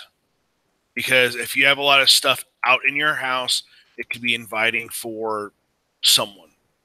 Um, don't Well, think you let's- have let's talk- anything? let's, let's talk about door locks. When you buy a house, change the door locks. No, no, I, I, no, no. I I'm talking. Yeah. I'm talking about uh, before. Hmm. Before that, before a perp even gets to your front door, Okay. discourage them. You know, have have outside lights. You know, that, that's what I meant. Outside lights, not not like oh, I'm going to have a whole bunch of inside lights so you can see everything I own from the road. Yeah, yeah. No. Have an outside. Have, Have, have have a front door outside lights, mo- motion lights, Motion- stuff Motion like lights, yeah. that. So, so if someone is coming close to your house, you deter them. Make sure you don't have a whole bunch of crap laying in your yard because if you have a lot of crap laying in your yard, you're going to have a lot of stuff in your house. Act, you know, act like your house is minimalistic. Uh, deter. That, that's how I do it. Before you even start talking about locks this, locks that. Yeah. Keep your garage door closed, please. Yes. Even if you're just doing a quick little trip to the corner store, put the garage door down. Because you'd be surprised when people just walk right up and ride off on your bike or walk out with it. We've we've had an incredible number of things stolen in the tiny town of ten thousand where I live. Ridiculous amount of theft happens in the summertime, uh, and a lot of it's people leaving their garage door open. Somebody walks in and walks out with their toolbox. Well, not, not- not only that, but You know, how many people lock the door going from their garage to their house? Like, I do, well, I- and the garage door, but a lot of people just you know just A lot leave of it people- unlocked. You know. A lot of people don't and get into the habit and then oh i'm just running to the store and all suddenly you're gone for an hour and your garage door's open and the door from your garage into your house is also unlocked Uh, some of the stuff that's also brought up in the chat. That's true. Because I'm gonna have to jet out here in a few minutes. No, that's cool, man. but if I can. Yeah. Uh, some old tricks that I picked up from you know the construction side of my family. Uh, Sean mentioned it out in the chat as well, but that's where the screws that hold your hinges to your house for your door Mhm. usually aren't very long and aren't very strong. And the you know uh, striker plates, you know that you're on the other side that your door latches to, usually are held in by very short, flimsy screws. Uh, so just you know, even with the basic door, basic lock, if you take the screws that are closest to the center line of the wall, you know, uh, a good way to do it is you take a drill bit the same size at diameter as a three inch deck screw. So you uh, drill just a little bit, so that way it takes the because you've got a one by four frame that's actually your door is mounted to. So you drill the wood out of that so it doesn't catch that wood. Then you run the three inch deck screw through that hole. It'll catch your two by four stud behind it, which should be a doubled up king stud, which means it's two two by fours directly in contact with each other. And you do that in all of your hinges. That'll you know make that side of your door much stronger, much harder to knock in Yep. and you do the same trick on your striker plates on the other side, you can take a basic door, basic lock set and do and do that, and you make them much more robust. So instead of them just being able to break a one by four piece of material, which is easy to do, I've done it. I've thrown my shoulder into a you know a, into a quote unquote security door and blown the frame out before. Um, they essentially have to either buckle the door or they have to, you know, a shear, you know, three inch deck screws before they can get through. So that right there can make a massive difference, and it makes no outward look difference to your house. Um, Yeah, so that was that's what I was just going to kind of. Beefing up those screws, that's a big one right there because that's you won't kick through that wood. You know. Yeah, that's where with you know, uh, unfortunately, so many contractors when they install a door, to make it easy on them, they have the ho- the frame the hole is framed oversized, and then they put the door right in the middle of it, shim both sides of it, because it makes it a lot easier to true up the door that way. Uh, the way my family's always done it is, we frame the hole only slightly oversized, and we actually put the hinges, um, tight up against the studs. So that way that side doesn't give at all. And then we you know anchor the other side the other you know the way i was describing. Um trying to break into one of the doors that we've installed you would have to buckle the door. It would not be an easy thing to do. Um, as for locks a uh, on deadbolts you have different length throws which means you know uh, when you click it how far does that pin Mhm. stick Yeah. out Yeah. a uh, so you can put a longer depending on you know what your you know house has currently you can put one in with a longer throw so it will catch more of the wood you know which will make it harder for it to then break out because if it only catches a little bit then it's just going to chip out the wood easier um yeah so having a double pane window is much harder to break than a single pane which you know not only is it more energy efficient it's also more secure um, I mean that you know, there's just kind of some basic things like that you can do that physically make it more secure. You know, Fair. uh, but I have to agree with Foos that making your house look like there's nothing worth going after is definitely going to be your first step. And, and a product that I use, um, I actually use it on my cars, is it's it's a product from 3M. It's called Shatter Shield. Um, basically, it's a type of polymer. Uh, I don't know what the specifics are on it, but it's a completely translucent polymer that you put over your glass. And you could go to town on this piece of glass, and it will not go all the way through. Sure, it'll break the glass uh, behind it, but it nothing will get through it. Nothing.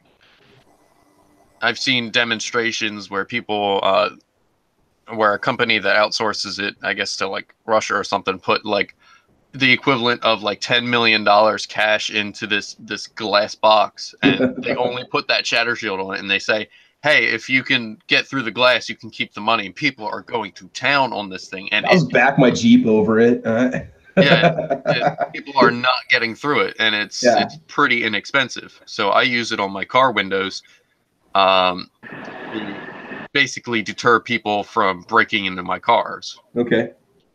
Current is your best thing. That's where you need the recreational nukes. Yes, Yeah, exactly. We're gonna nuke them. you break this glass and nuke goes off. yeah, exactly. Exactly. Everybody suffers. So again, we got the idea. Okay, so reinforcing the uh, you know your hinges, your lock points, your strike plates on the doors, always a good thing. Uh, obviously, you know, change your locks when you first buy a house, just because you don't know who's got the spare keys to it or if it's been changed or not. That's the first thing we did is we put some security grade door handles on all the doors in the house. Um, you know, and again, the one kind of rough area could be glass, glass on that front door. You know, if you've got just a screen door and then you've got like a four pane, you know, glass window on your door, somebody could smash that and unlock it. So your locks aren't going to matter for anything if a person can get their hand right through it. So that's something you got to kind of watch out for. Uh, if you're talking about being gone for a while, like Yeah. a vacation or something, uh, you could put hasps on and padlocks. And like your garage, you can just drill a hole in the garage door track and put a padlock through that. Ain't nobody getting that up. They're gonna Yeah. tear it off. Uh, windows, yeah, well, I was to say windows. You make sure they're locked. a piece of broom handle tall enough to just reach the top so you can't physically open the window. They will not open the window. on a, with just a you know fifty cent piece of wood. You can put a stop to that. Yeah. You'll have to break it to get in. Uh, somebody was talking about Gary. Was that you talking about the patio door? I know my grandma. They put a, a broomstick, cut up broomstick in the sliding door, so you can't slide it open. You couldn't wedge it open. You'd have to bust through the glass to get in. Right, Which, but it wouldn't you know- be hard to bust the glass. So No, well, I mean, I. God, do you think of the chance that you? I mean, I guess if you used some kind of a blunt object to do it, you know, it, you could probably get in. Um, Hammer. Yeah, yeah, just a hammer. But I mean, the falling glass. one- Yeah, Yeah. I agree. locks keep honest people honest. If they're willing to smash windows and this kind of stuff, they're gonna get in one way or another. Um, like look at some of these, you know, talking about you know uh, middle, well, without having to have bars on the windows. Look at some of these security videos we see of, especially at gun stores that have the heavy metal cages, and Yeah. people just back a truck right through the window and then take what they want and drive out. I mean, if someone wants you bad enough, there is nothing you're going to do that's going to prevent them Yeah, short of going full James Bond, if they break this barrier, the entire house vaporizes because it's got 80 pounds of you know, Semtex spread throughout the house. I mean, you you know, know, they, they had mentioned they had mentioned dogs. Um, I I kind of get a kick out of some of the dog videos on YouTube where they say, "What does the dog really do to an intruder?" Have you ever watched any of the videos on YouTube? They'll have people. They'll have. They'll do a simulation where the owner will start screaming and panicking, and somebody like breaks into the house, and the dog like runs out the door and leaves the owner. So I mean, I guess it depends on the kind of dog you have and how you have it trained. You know, obviously, uh, you have yourself a nice, a nice defensive dog, an attack dog uh, you know, Rottweiler, Pit Bull, and so on, or even a bigger dog, Doberman, something trained to attack on your commands, that would definitely be a good security system. A barking dog, you know, if somebody's going to break into your house and there's a dog barking, making a lot of noise, they might walk away. Unless, like you said, Calvers, unless they really want to get in your house to get something, they will do what they have to, unfortunately, to get it. Number one, if they Um, really want to get in, no matter no no amount of security is going to keep them. So Dogs probably now, go, go ahead, Tony.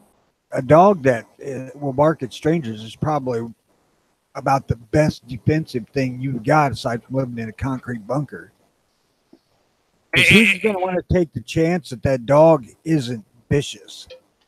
Yeah, and, and like have a ch- little Chihuahua that they can't see because those are the sound, meanest sounding dogs ever. Oh, they're vicious little turds. Yeah. I'll tell you, the best I ever saw was a chow. Oh yeah, I heard those guys are. I heard they're they're they're like one of the most aggressive dog breeds that are out there. You wouldn't think it looking at it, but supposedly they are. They're pretty territorial, man. Yep. Um, somebody was saying, what about what about ammo dog? What about our little corgi? You know, think about a corgi. It's basically a full size dog with half size legs. He's got a very freaking loud bark, and they're herding animals, so they are used to. Now our little guy is not very noisy. He doesn't make a lot of noise unless somebody comes to the door, and you know we're kind of alerted to it and stuff. But um, yeah, you know, and it kind of depends on the animal and what you're going to do. Uh, but still, okay. So let's let's move on. Let's move on. So the person's in the house. The person gets in the house. We've talked about what to do to reinforce it, how to keep the house, how to prevent people from getting in. Some practical things we can do. Um, the person's in the house. You know, you've got your Brinks security systems. You know, uh, you've got your webcams that you can run with. Uh, what, what do you guys recommend for once they're in the house? You know, uh, alarms. What do you guys think about the home alarms? Um, alarms do things for people who don't really, uh, who just kind of do that the hit and run kind of deal. Um, they they work uh, pretty effectively. But if this person is determined to take everything that you have, an alarm is just an alarm. It's just a noise. It's a nuisance. Unless it's one of the systems that's linked up to a call center, you know? Yeah. Even even Um, so, Yeah. it's how so that call center, depending on where you're at, you know, small towns they may be more responsive, but if you're in a town, let's say you know, Detroit, how long is going? They're going to be like, I got four hours. Mm-hmm. You know? Yeah, I was gonna say the same thing about response time. That's where, and you know, I'm sure it's same out there in Nebraska as it is where I grew up. You know, uh, time of year it also can make a difference on response time because uh, that's where, like my dad's place nowadays, response time average is about 30 minutes. At one time, you know, uh, like during the winter, res- expected response time at my you know uh, out in that town was about three hours during the winter. So it's just, you Oh, know man. they come in and you know fill out some paperwork for you after the fact, but that's where. Uh, yeah, like I said, you know, noise is just noise to the determined guys, but that's you know, See, oh, once yeah. they get in, I don't know what you can really do in, about it. in the town I live in, the small town I live in, the, the response time is probably five minutes because the, you can get from one side of the town to the other within five minutes. I've got a police officer that lives a block away. The police department is four blocks away. It's basically in the center of town. So the response time out of town when stuff happens in the country, that's 15, 20 minute response time for a sheriff to get out there like an accident on a country road. But in town, it's not where I live. It's a small enough town that it, it's literally five minutes. Because we've we've called, I've called the police before on non-emergency calls, and they're there within 10 minutes when we've had vehicle break-ins and stuff like that. So it that's one nice thing about being in in in a small town is depending on the size of the police department too. Uh, but ours is pretty usually get two officers that'll respond within five minutes. What what I have here in small town Illinois is uh, when our local police department is not on duty in the car, the sheriff is who gets sent out because they don't call the local police; they'll put it out on the radio. And if the cop ain't listening to the radio, he doesn't know shit's going on. So you wait an hour or so for sheriff to finally get here. Yeah. And what I uh, what I use with um, if somebody is already in the house, it, it would be a good thing to have a camera set up inside the house so you document it. You know, it's it'll go over a lot better with um, your insurance company if you have documentation of everything this person stole. You know, if they end up getting away. Which most likely they will get away.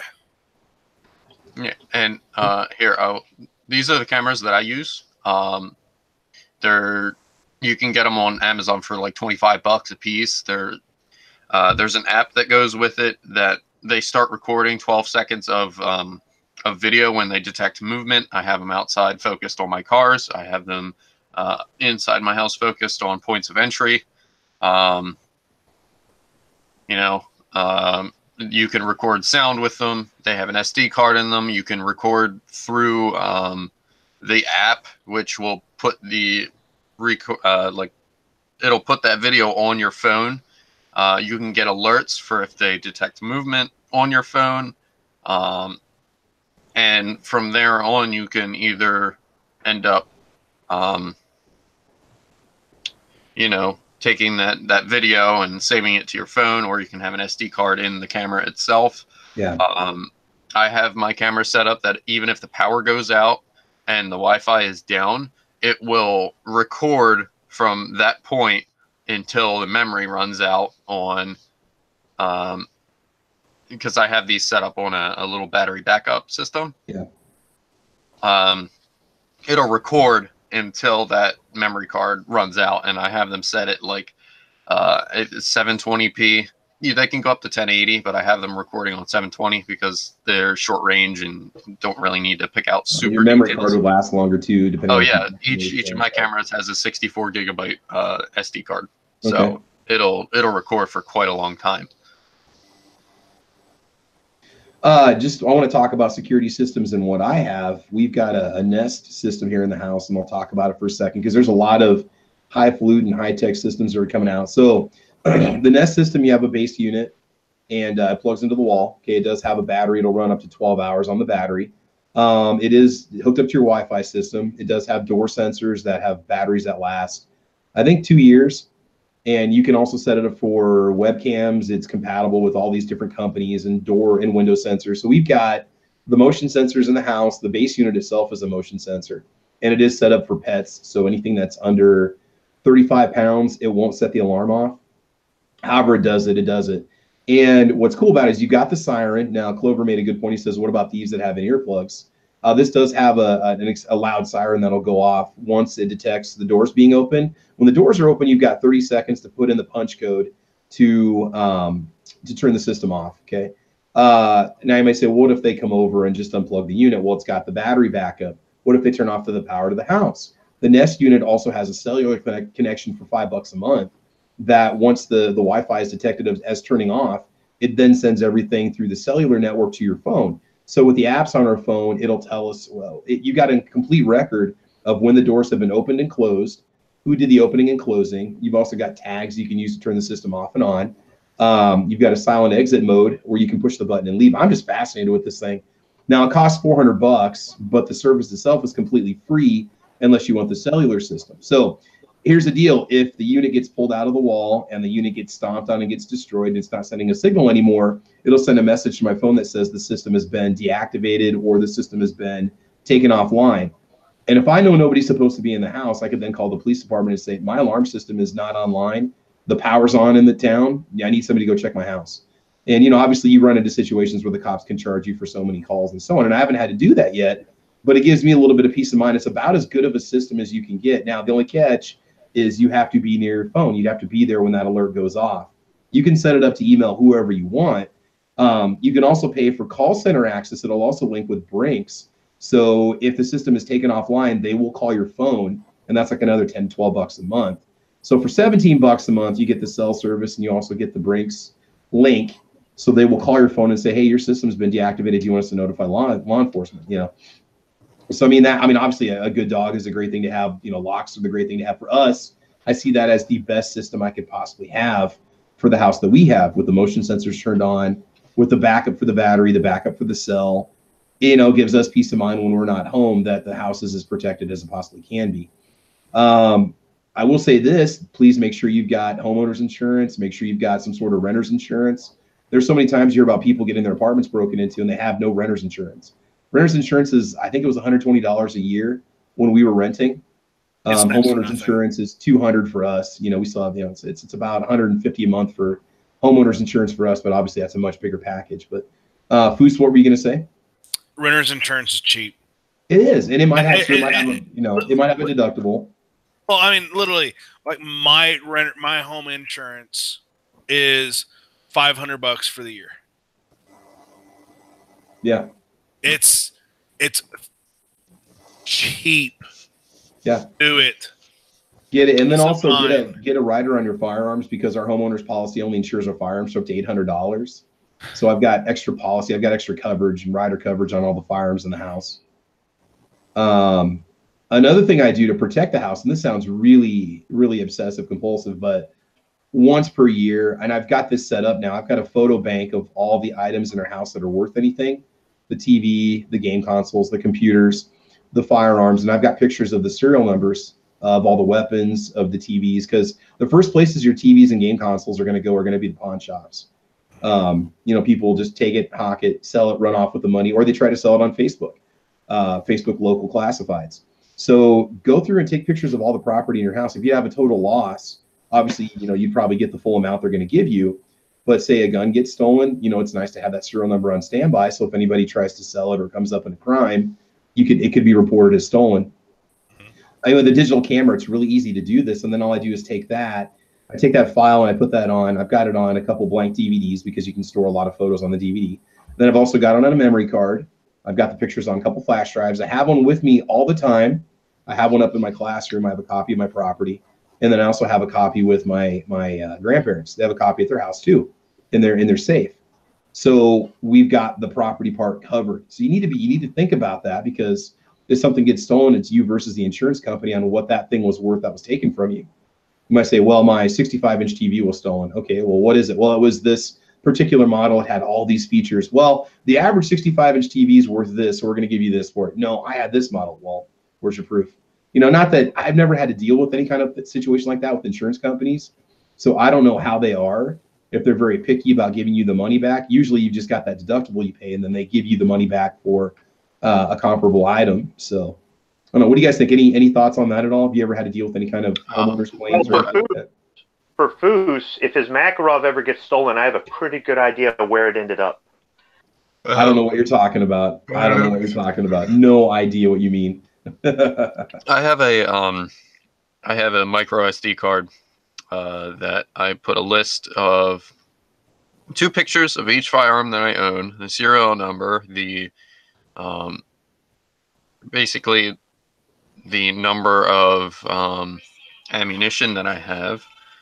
Um, and that list is on a micro SD card. I keep that in my wallet.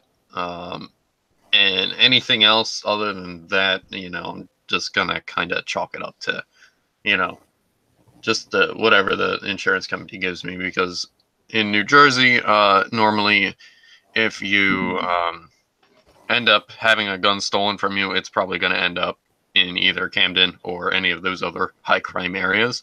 It doesn't end up in a pawn shop because most of the pawn shops here in New Jersey uh, do not have FFLs.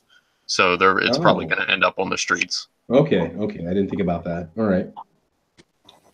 Uh, yeah. I mean, and again, you know, that's just it. Is it's it could end up on the street before. Um, and again, it's always good to have. If you, I would recommend. I know it's not always required in every state, but maybe keep a record of who it is that you sell firearms to. If you do any personal sales, because in Nebraska, it's very easy to do personal sales of both handguns and rifles. Uh, you just, you know, there's certain rules you have to follow, but it's good to have a record of who you sold the gun to just so you don't run into a situation where you might have to prove that you weren't there when that gun was found on the scene. So what, what what I do with the sales of firearms is I ask the person who bought it if I can take a picture of their driver's license, um, to prove that they're an, Ar- an Arkansas residents. They can. I said you can blank out your address and the actual driver ID. That's fine. I just need to have a picture of your name, you, Yeah. you and your name. That's Yeah. all I care about. And then what I do is I take and I email it to myself. So I have a date stamp on an email of when that was sold, and I in in the description I'm like Ruger SR nine, and done. Yeah. No serial number, no no nothing. So they're like, oh, we have a Ruger SR9 that was committed. You know, well, let me go. Oh, this is the person I sold it to, and this is the date because this is when I got an email from it. Mm. So you know exact because if you just have a picture or something like that, if it's if there's no timestamp or anything with it, when was it taken? How do we how do we know that wasn't you know whatever? You know, then suddenly it's where were you at this time? You know. Mhm. So all right, so AWAG is dropped. Thanks a lot for joining us, AWAG. AWAG, I do appreciate it. Uh, Calaveras, I didn't get a chance to. I've been looking at the chat and looking at all kinds of stuff. So Calaveras, thanks for joining in. So yeah, I mean, it is it is a good idea to be somewhat responsible for you know for what you're doing for your sales, and uh, it's just good to know. I've I've had a situation come back on me where a firearm that I sold many years ago was used in a crime and it was it was confiscated at the crime scene. Police showed up at my door. Who'd you sell it to? Uh, let's see, ten years ago. Wow. Um, you know, so it depends on the situation. So um, that was kind of freaky. Didn't expect that to happen because it you know had been sold and it was sold to somebody else who sold to somebody else. Ended up using it in a robbery. So you know that's kind of a not- a fun situation to be in. It's just a pers- personally somebody who's gone through that. You know. Now you do have that protection where the law says you don't have to have a record in the state that you live in. Depending on the state that you're in, Nebraska, you don't have to keep the name of the person that you sold the gun to in a private sale. But if it comes back on you, you know, I mean, it could be used against you. So you got to think about that. So let's keep that in mind. I would finish the topic out with a tip I got in the first batch of training I went through to work for the government. And they said the hardest stuff for a thief or somebody, a burglar, to get around is the stuff you make up yourself. For all the store bought stuff, there's people out there that work that stuff out as soon as it's made. Yep. He said that the simple stuff you think of is The nail, Yeah, a nail. the screw. That is awesome. Or if if you have a, let's say you have an attic that there's a window up there that's never gets open, nail the thing shut. True, true. There you go. You're Uh, on the news, Travis. This is uh, 40 miles east of where I live. Yeah, with the winter storm Yeah. starting to roll in right now. And that's not bad, but trying to drive through it on the highway or the interstate. A problem we run into on, on Interstate 80 that goes through Nebraska, people think they can go 65, 75 miles an hour on that stuff. And it's unbelievable. Within the first couple hours of that snowfall, we've got 20, 25 car accidents that'll happen. Or they try to pass and they overcorrect, they hit the shoulder, which is all slushy, and they lose control of the car. I've actually seen that happen in front of me several times on Interstate 80. So uh, that's yeah, that's that's fun. And they're talking about Nebraska, which is that's that's 40 miles east of where I live. it's doing the same thing outside where I'm at. It's pretty much the same situation for Sandhills also. So yeah, it's it's getting to get it's going to be a brutal weekend. It's showing up a lot later than what they predicted. It was supposed to happen last night, but uh, yeah, people just don't know how to slow down. It's ridiculous. So Uh, all right, yeah, Tony. I was going to say, big enough vehicle, you don't have to worry too much about it. Uh, no. If people get wedged between semis, it's it's bad.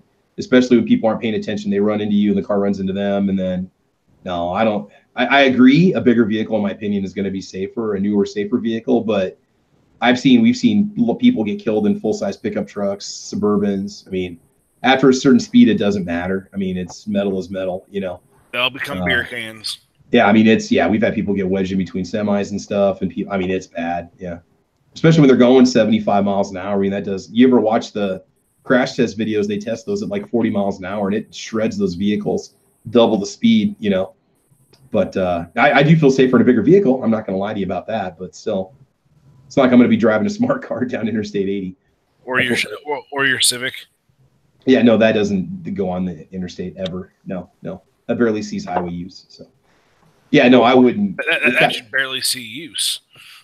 Yeah, well, I mean, like I said, I keep it around as a collector vehicle, but it does have dual airbags and side impact beams, but you're still in a tin can. So, heck, even in my Jeep, you know, it's 17 year old safety technology.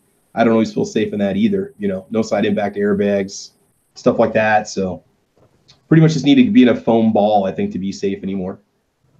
Oh man, One That's- thing I wanted to mention real quick uh, before we change topics, Yeah, Travis, you you had mentioned uh, when you move into a new place, change your locks. Don't don't keep the locks that the builder put on there.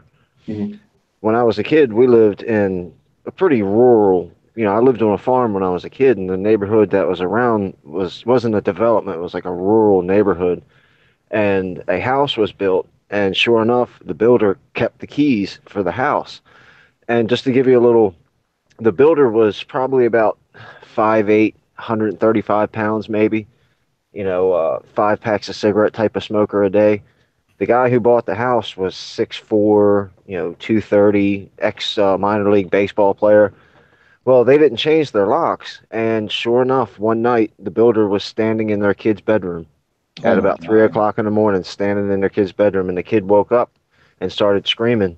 And you can imagine what the very large father did to the very small guy when they caught him in his house. So don't don't think that that's not something serious. That that really happens. You have to change your locks when you move into a new place. what what was the builder thinking? Was he mentally unstable? What? Yeah, they had they had a So, so hold on. I, I've been in construction uh, industry. I know a lot of people that are, are several people that are in construction industry. They are some fucktard, fuck- fucktards. Honestly, contractors stuff like that, dude. Yeah, don't trust them. They, yeah. I mean, so some are totally legit and everything. I'm not knocking all of them. There, there are some out there that are like, "What the fuck?" I don't know. Well, that's just people in general. Yeah, Yeah, they had had issues with him at the very beginning with uh, stuff that he was supposed to have put on the house and he didn't, and some of the stuff that he did kind of crappy and he had to come back and fix. And so the guy was a real, real, you know, firecracker. You know, he, he thought he was 10 feet tall and bulletproof. And I guess the night that he was in the house standing in the kid's bedroom, he, he realized that he wasn't. yeah. No, if it had been in my house, he'd have been Swiss cheese. Well, thankfully, you know, the guy did own firearms. Yeah, but you know he was a really really good guy and i guess he figured you know if i punch this guy in the face a few times and throw him out the front door i don't have to shoot him you Yeah. know so whatever Oh, yeah, whatever reason he chose not to bring yeah. whatever reason he chose not to bring out the firearm i'm glad that he didn't and uh the guy never sh- the, the guy never came back that's for sure Well, the, the- the thing is, is in, in that situation, I mean, having waking up in a kid, you know, going into a kid's room like that. Does he yeah. I deserve to be Swiss most people would, would let one off the chain in a situation like that. You know. Does he deserve to be Swiss cheese? Most likely. Yes, I would have shot some bitch dead to save the next kid. That's just scary stuff when they're in your. I mean, when they're in your house, okay, you know, yeah. But when they're in your kid's room, I mean, a lot of people. wouldn't hold back. I mean, that guy got really lucky, man. He got a second That's- chance at life. I'll tell you that. Forewarning for all you guys that are here and the ones that are listening. Even if my door is standing wide open, do not walk in my house Yeah. because I always carry. Yep. There's some home security for you. And then, real quick about the uh, about the dogs, I've got a ten year old pit bull that's ninety pounds, and I got a one year old pit bull that's ninety pounds and still growing, and they go absolutely ballistic when somebody walks in my yard. But when you get in the house, they're puppies. They're sweet little puppies. So you, the only deterrent for my dogs is when you see them banging against the door and jumping against the window, snarling and teeth showing because they're going crazy that you're in the yard. If that doesn't deter you and you get in the house, then you've got two dogs that are going to run outside the door and take off through the neighborhood while you're robbing my house. Shouldn't tell people that. Well, So, so what you're people people who know people who know my dogs and come over all the time are still afraid. So there's no guarantee that they won't bite you. Oh, well, yeah, yeah. I mean, I think yeah. So far, everybody who's come into my house has been friendly. There's never been any kind of altercation in my house, you know, a fight or anything like that. So I haven't seen what the dogs are going to do under an aggressive situation. But you know, it's always it, it. You can depend on the dog to scare people, but you like like I think Tony mentioned it earlier. If it's not a vicious dog when it's in the house, then it's just something that's going to stand there and watch you pack my stuff away. I think Squib was making a PETA video there. Adopt a dog. trying to get him to bark on air, but he won't bark on air. He's begging for a treat. I suppose that um, after he's done eating the treat, then he's going to eat the uh, intruder. Play some uh, Sarah McLachlan in the background. He'll start barking. Get those droopy eyes. Please adopt a pet. My Oh, man. chow. Now, anybody who come in that house that was a stranger, he would bite. We'd have to put him in the bathroom uh, until this person had been in the house several times.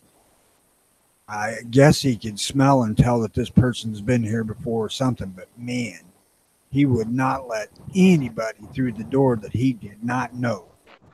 Uh, That's the weird thing. If you go to my parents' house, they've got a Yorkie, and that dog will bite you. If if like we play around and I'll tap my mom on the shoulder and she'll go ow ow, and the dog will bite me. You know, Yes. if it thinks that you're hurting one of the somebody in the house, it will bite you.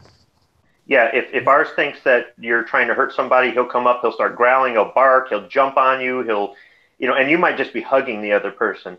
We had him for uh, probably about a year or two, and we, we weren't certain. He'd bark at, at strangers, but after a while, he got used to if we're in the house, he doesn't need to run to the door and bark to, at strangers. I mean, he'll, he'll, he'll go to the door if somebody is walking up, but he, he, he stopped barking. But we weren't sure, you know, will he be a good guard dog? Well, one night uh, we had had the power out for two days and, and probably the first night of the power outage they came into our backyard at 10.30 at night. It's pitch black outside. We're all sleeping and the dog was trying to jump through the second story window to get into the backyard at these people. He was jumping up and, and barking and clawing and he was trying to smash through the window to get at these two guys in the backyard. And i said okay we got a good guard dog. You know, Yeah. the chow I had did the most impressive thing I've ever seen a dog do, and that's when we'd go to bed, he'd go from our bedroom to each of the kids' bedroom continuously all night long. Uh, and it, there was no training the dog. He just did it. And I sit one night and I watched him. And that's what he did his whole damn night, just back and forth. Because up until that point, I didn't really like the dog. Um, just real quick, I was corrected. I was corrected by Rusid Films. That was the ASPCA. That was not PETA. I couldn't remember which organization it was, but people Yeah, eating yeah. tasty animals yeah, it's pretty Yes. much. Um, potatoes uh, is saying over on uh, lead and potatoes is saying over potatoes and lead over on the gun channel side is saying a lot of burglars will bring a cheeseburger from McDonald's for the dog. You know, you've seen the, the the Hollywood movies where they throw the steaks at the at the growling, snarling dogs, and the hmm. dogs take the steaks and run off, and they just go walk right by. You could bring a stack of 10 into my house. The dog will eat all of that and the bag in about three seconds, and then he'll bite you. Oh yeah, there so, you go. yeah, There you get go. enough time to look around. He'll be like, thanks for the food. And now? Next, you're next. Clover Tack is saying that he has mysterious dog whisperer powers. He's always he's just the new Clover. You need to have a channel, man. You need to have the the dog whisperer channel. And they say they, they know that Clover tastes horrible. I don't know if Clover tastes like Lucky Charms. I mean, most dogs might like that. So you know. Magically delicious. Sean says he was only bitten once by a dog, a vicious Dalmatian. Dude, that would just ruin your childhood. You go from watching the Disney movie. Yeah. Dalmatians are biters. Yeah, they're yeah, they're and they're skittish. They're skittish. Oh man. All right. So let's let's move on to the last topic here, guys. Um, somebody just wanted us to talk about our favorite hunts, what we like to hunt, and why. Let's just throw it out there. What have you guys had the most fun hunting in your Squirrel. lifetime? Squirrel. Most fun, coon hunting by far. With with dogs or what Oh, do you do? yes. Tony? Yeah. Tr- Following coon hounds. That yeah, that if you've ever hunted with animals before, that is a just an awesome, awesome experience. Uh Tony, is that something you did as a kid or what? Uh, it's something I did as a young adult. Okay. Uh, and it is so impressive how a good dog will work. Plus the sound of them, the old school hound dogs bawling at night. Just it is spine tingling, really. Yeah, yeah. It's like the kind of thing you only see in movies, you know, when they're chasing the criminal through the dark, you know. But um, The these experience would be days, awesome. My biggest hunting is squirrel because I can do that when it's warm. I like how a 44 caliber bullet will get you 44 pounds of venison.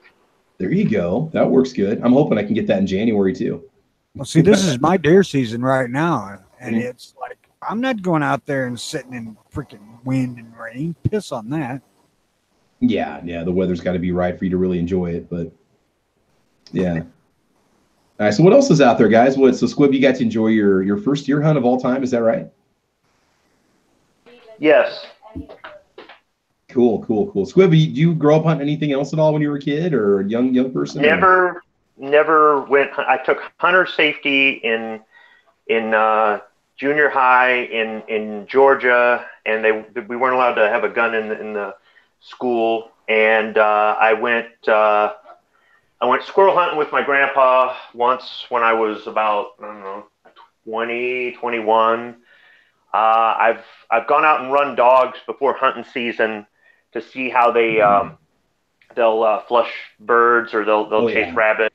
Yeah. And I've talked to a lot of people uh, about hunting. Uh, you know, where, where I used to work, the deer would come right up to the parking lot. So my buddy would be out there with his uh, call, and he'd go, "Watch this, watch this," you know, and he would show me a lot of stuff about you know the, with the deer scraping the trees and all the different.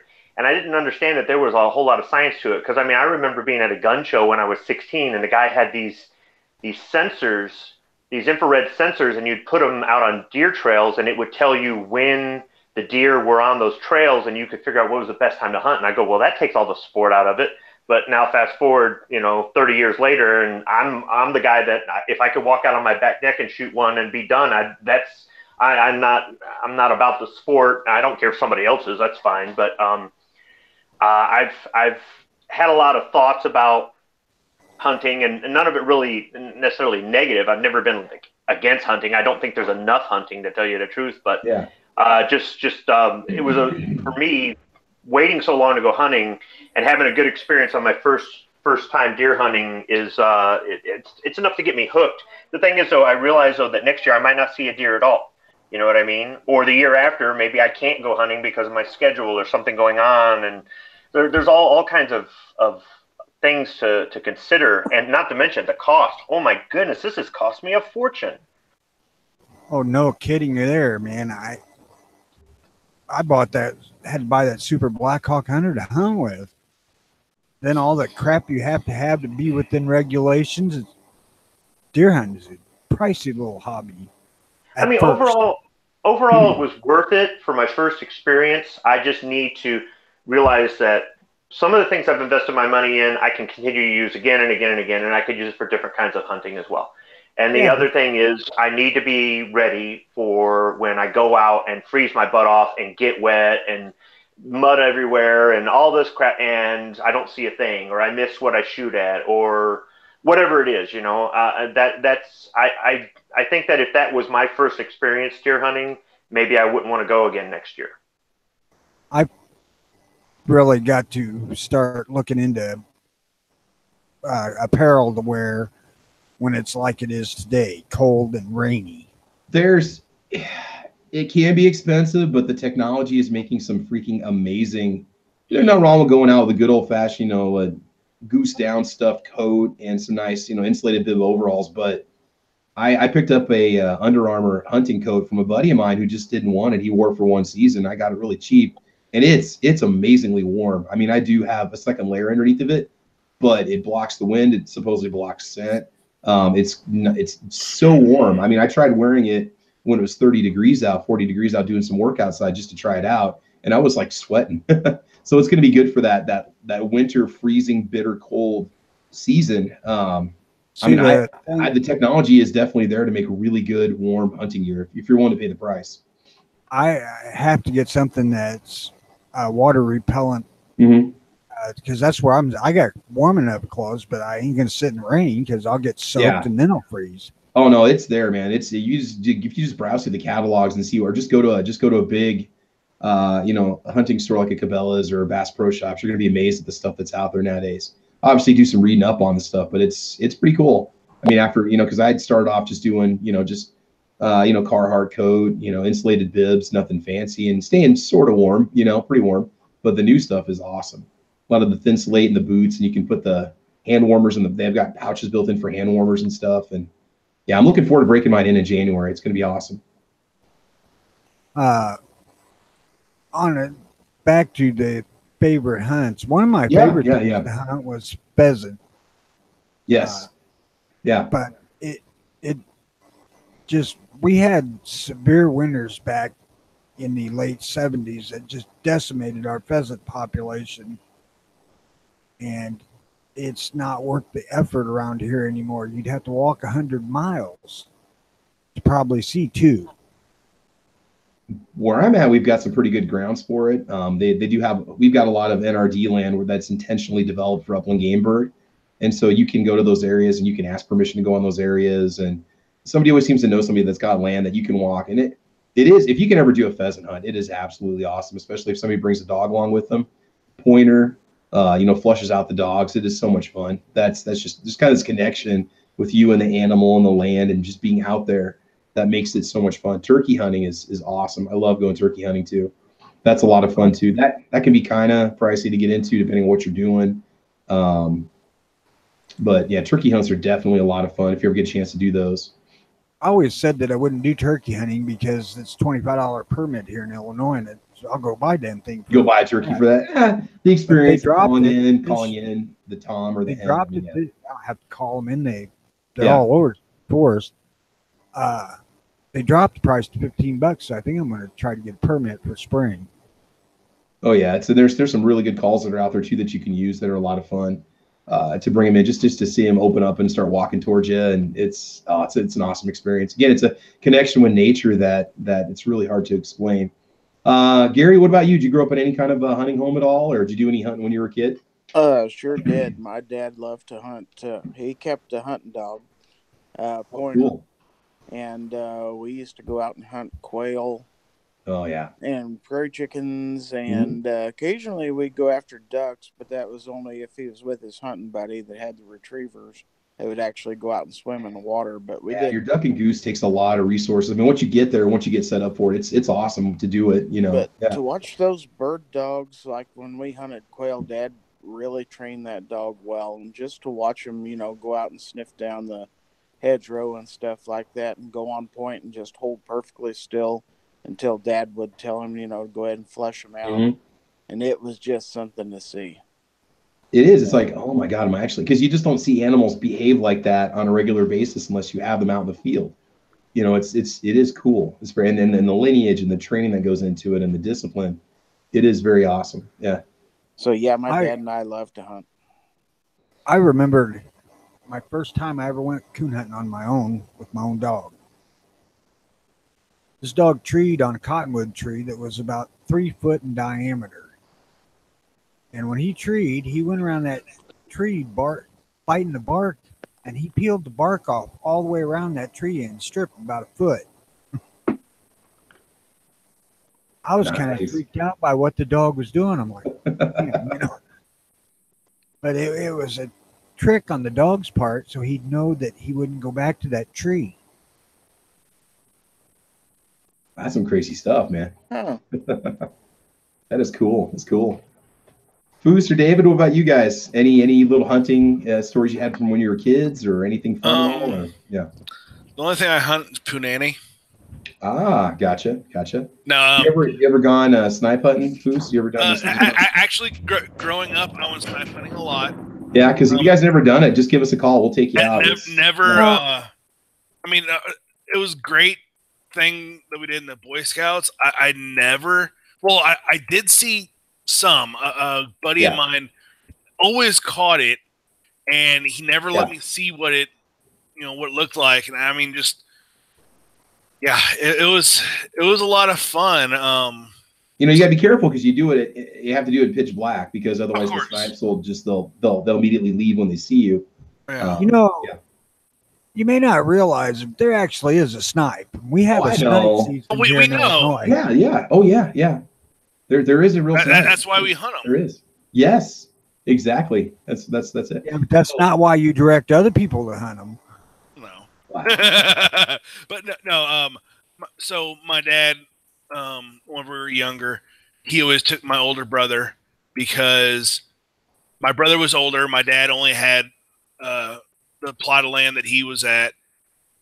There's only it was on a um lease so he only had him and his buddies only had a x amount of people that could hunt. So if the, so that, let's say there was 10 people that hunted and they had the lease was or 10 people that bought in and the lease was for like 13 or let's say 15 um, people.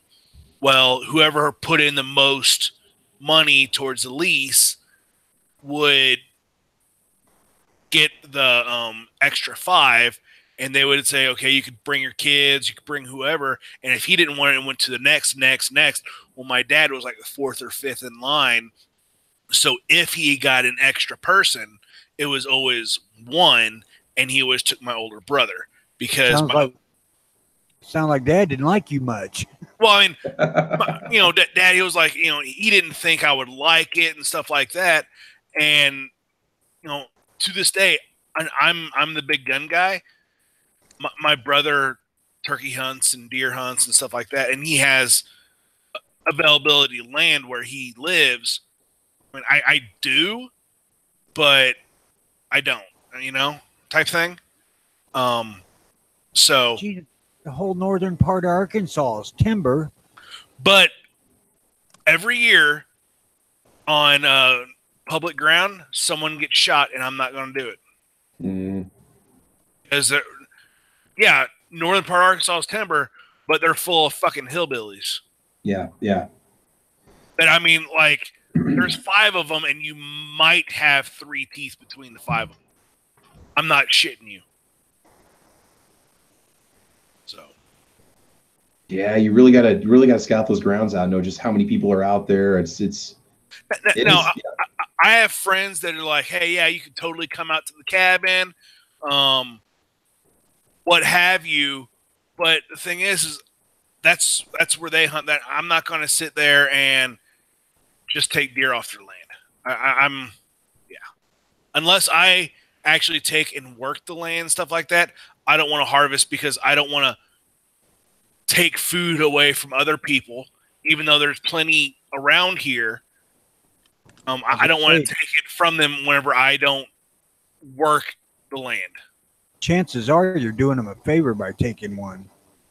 Oh, I, I mean, I, true, but I just don't feel like it's proper for me to just go and say, "Hey, can I hunt?" and not help with the land and stuff like that. And you know, they never asked me to help keep up the land. I, I've offered multiple times, and you know, I was like, "Well, you know, I'll just go down there and do something. And I said that to my buddy. He's like, if his entire family owns the land down there, um, there's one road in, one road out, and uh, he's like, if my family does not know who like the vehicle, you will have four cut valve stems. Oh my. okay. Yeah, I mean, th- th- there was a home.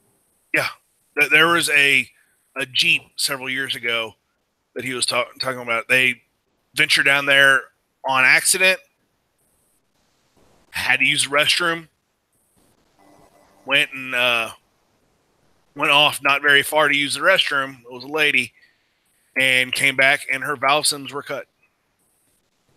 Just for the record, that was not my Jeep. I just want to let that out right No, now. no, it, it was a Jeep. Rig. okay, okay. But I mean, still, I mean, where I live, it's like if you don't know where you're at, don't go. Seriously, it could literally be a life or death situation. oh, ab- You know, you don't know. absolutely, absolutely. Any there are some areas of the country that they are very private, very you don't know where you're at. Sorry, type thing. Yep. And I'm I I'm in one of those areas. I actually have a fairly large amount of family down there in northern Arkansas. So I could go down there and there's timber available, but I hmm. just it's just I don't want to go deer hunting somewhere else. I don't like deer that damn much. Yeah. so I mean, it, it's like it's viable. I, I have gone. Um, heck, the last year I had, I was I was on the shitter when I took it. Um, but literally, I looked out and like, there's a deer, a doe, about seventy five yards out. Hey, David, grab my grab my Mosin. Uh, shoot, I, I whenever I do hunt, I hunt with a Type fifty three. Um, and I answer at my ankles, leaned out the window, which is perfectly legal here in Arkansas, and took it. Just let her rip. Just grip it and rip it, baby. Yeah. literally. Oh, damn. Uh, I aimed for the neck, got a neck, and gone. Yeah. Didn't move. Well, that pales in comparison to most of my hunting stories, but uh, that is some that is some crazy stuff, man. Hey, Yeah. whatever works for you, man. And you didn't break the law, so there you go. Yep.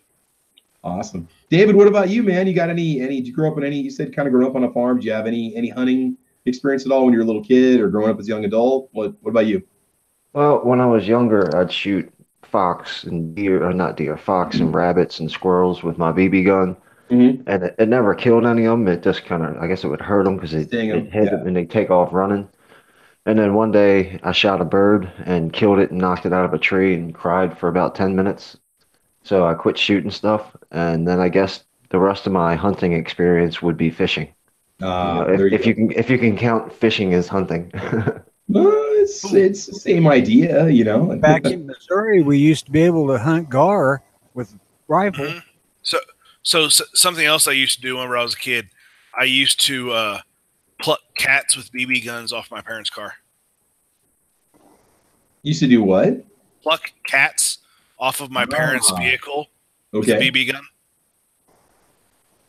I can't begin to count how many cats I've shot. Y'all are just horrible. Well, I mean, don't fall over. Shit. Who's you okay? Yeah, no, I, I'm playing a farm simulating game, Uh, and I am I am baling a whole bunch of hay, and I just knocked my trailer over. I thought your I thought your Mosin fell over and you're sitting on the toilet. no, Like, oh man, oh man, no. yeah, This is yeah. this is what I did. oh man. I spent a bunch of games, time up man. here, and then all of a sudden, like, I just tipped it over. dude. Don't let OSHA see that. Oh I'm, I'm gonna see what I can do. Oh my god, can you flip that thing back up with your tractor? Farm simulator, man. I don't Uh, want farm simulator. I'm surrounded by farm simulator. All right, I get enough farm simulator in one day. Uh, no, no, it looks like. oh my hold on. god. Yeah, get it, all Foos, that. get it, get it, get it. Yeah, there Yeah. you go. Yeah, there you go. Now go I've out your nephew that you crushed and uh, oh my god. Yeah, so, so I'm. I'm on a contract. I need to. I, I mowed and I bailed all these. I need to take them to the barn, and I've been doing the entire time I've been on here. I've been trying to f- load this damn trailer, so it's gonna take forever. Well, I hope your ammunition skills are better than your hay loading skills because I want to make sure I keep all my fingers on my hand. Okay. Yes, yes. oh my god. You know, I've done all that work oh. Real in real life, and I would not want to play a game of it. I know it's like that's like I, I would not want to do teacher simulator for my home. Hey, sim Yeah. teacher. No, that's okay. I get 50 hours of it every week. I'm good enough. I log enough hours offline on that.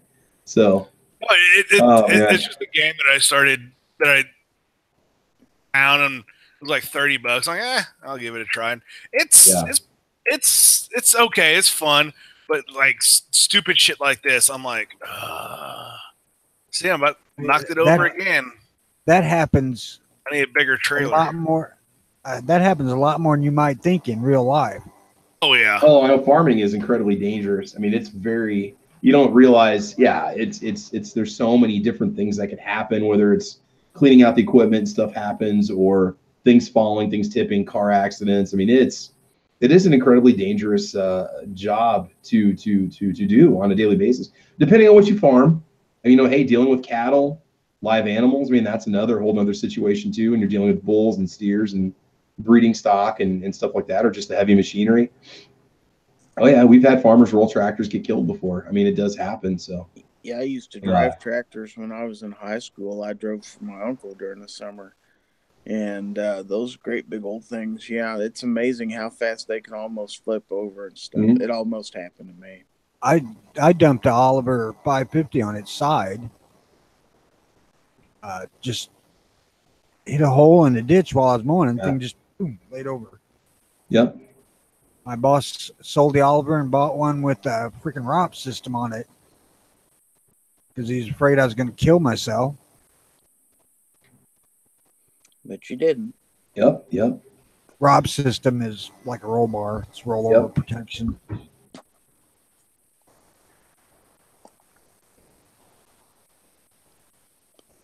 Crazy.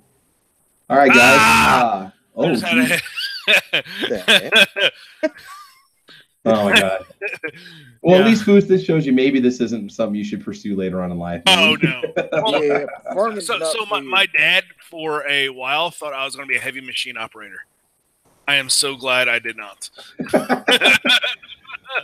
Oh man. All right, guys. I'm gonna go ahead and call it. It's been a it's been a couple hours. Good, solid two and a half hours. We had a nice little chat today. So today, guys, we did talk about holsters, all sorts of different holsters inside the waistband, outside the waistband.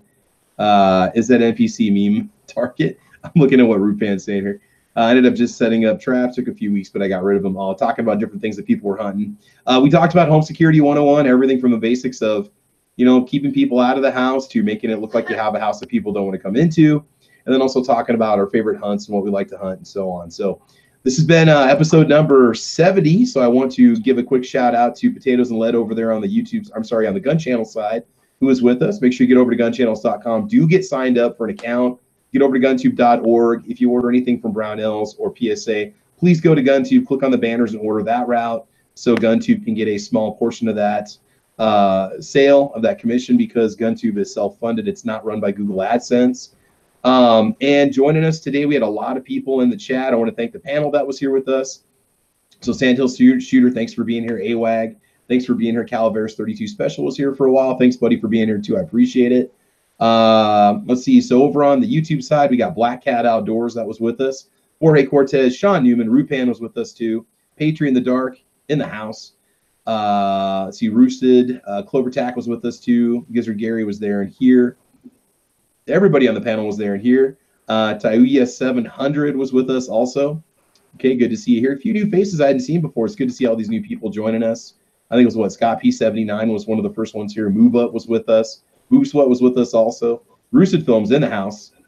Uh, hopefully I didn't miss anybody. If I did, I do apologize. Midnight Range was with us. Uh, was was with us in the chat also. Vandaliska Vlogs, Sean Newman. What's up, Foos? Scott P seventy nine is he relative or No, no, just he's in the P series, you know, so he's he could be a cousin. It's a he's not one of the Travi, but he, he could be an he could be a uh whatever you want to call it, an awarded Travi. We could we could No, declare no, no, a no, no, He's relative three times removed. Yeah, exactly, exactly. Seven point nine times removed. Um, again, Vandal, thanks for joining us, buddy. Sean Ponnery in the house. Uh, tipped see what over. is out there. What's that? Tacos and French fries joining us. It almost tipped over again. You, you be careful there, Foos. We need you making ammo so I can get my first order placed before you uh, lop your head off there. Uh, local 223 in the house. Awesome, guys. Awesome. So that was it, guys. Thanks for joining us. I hope you enjoyed the show. We'll have another episode lined up for next week. It should be a good time. I'm hoping I can get a, a few range videos out there. I've got a Ruger Precision rifle I need to take out, and I've also got my 6.5 Creedmoor that I need to take out. I'll be announcing that in a video here soon. It's actually sitting behind me right over here. You can't see I'm opposite. My mirroring is turned on. It's what there, right there. It's right there. So, and uh, we'll get that out, and I'll talk about that a little bit more later on. Like I said, it's the middle of a winter storm right now, so I cannot get out to the range easily. I mean, if I wanted to get all bundled up, I could go, but it would just be a nightmare trying to shoot. So, um, anyway, guys, that is it. I want to thank you for joining us today. Uh, otherwise, I think we're about to. Why we got Emma Dog won't do the trick. Rupa and Emo Dog is going to be just fine. He uh, he tracks rabbits, and he's a he's a good guy. He's he's a good little guard dog to have around the house, even though he's just a corgi. So, otherwise, guys, that's it. Thanks for joining us. Uh, you guys all have a great weekend. Stay warm, bundle up, get out there, do some shooting, take somebody to the range that you know. Um, I want you guys to have fun. I want you to be safe. As always, man, we will talk to you guys soon. Bye, Alicia. Good day, everybody. Shout out being fringe. Adios, Felicia. Adios, Felicia. Poor little Night Strike didn't join in. That's all right. Maybe we'll get him next time. So, all right. Y'all take care. Have a great weekend. We'll talk to you soon. Bye bye. Yeah, we- we're going to leave you with a little bit of uh, Foos's driving action here. He's taking it to the market. And uh, we'll the talk to you guys later. yeah. Taking it to the barn. all right, you're driving on the left side of the road there, Foos. I, just I don't mentioned. care. Okay, good. All right. On that note, we'll talk to you guys later. Hey, All I right. hate farmers. I have no, hey, I have no idea. This may be in England.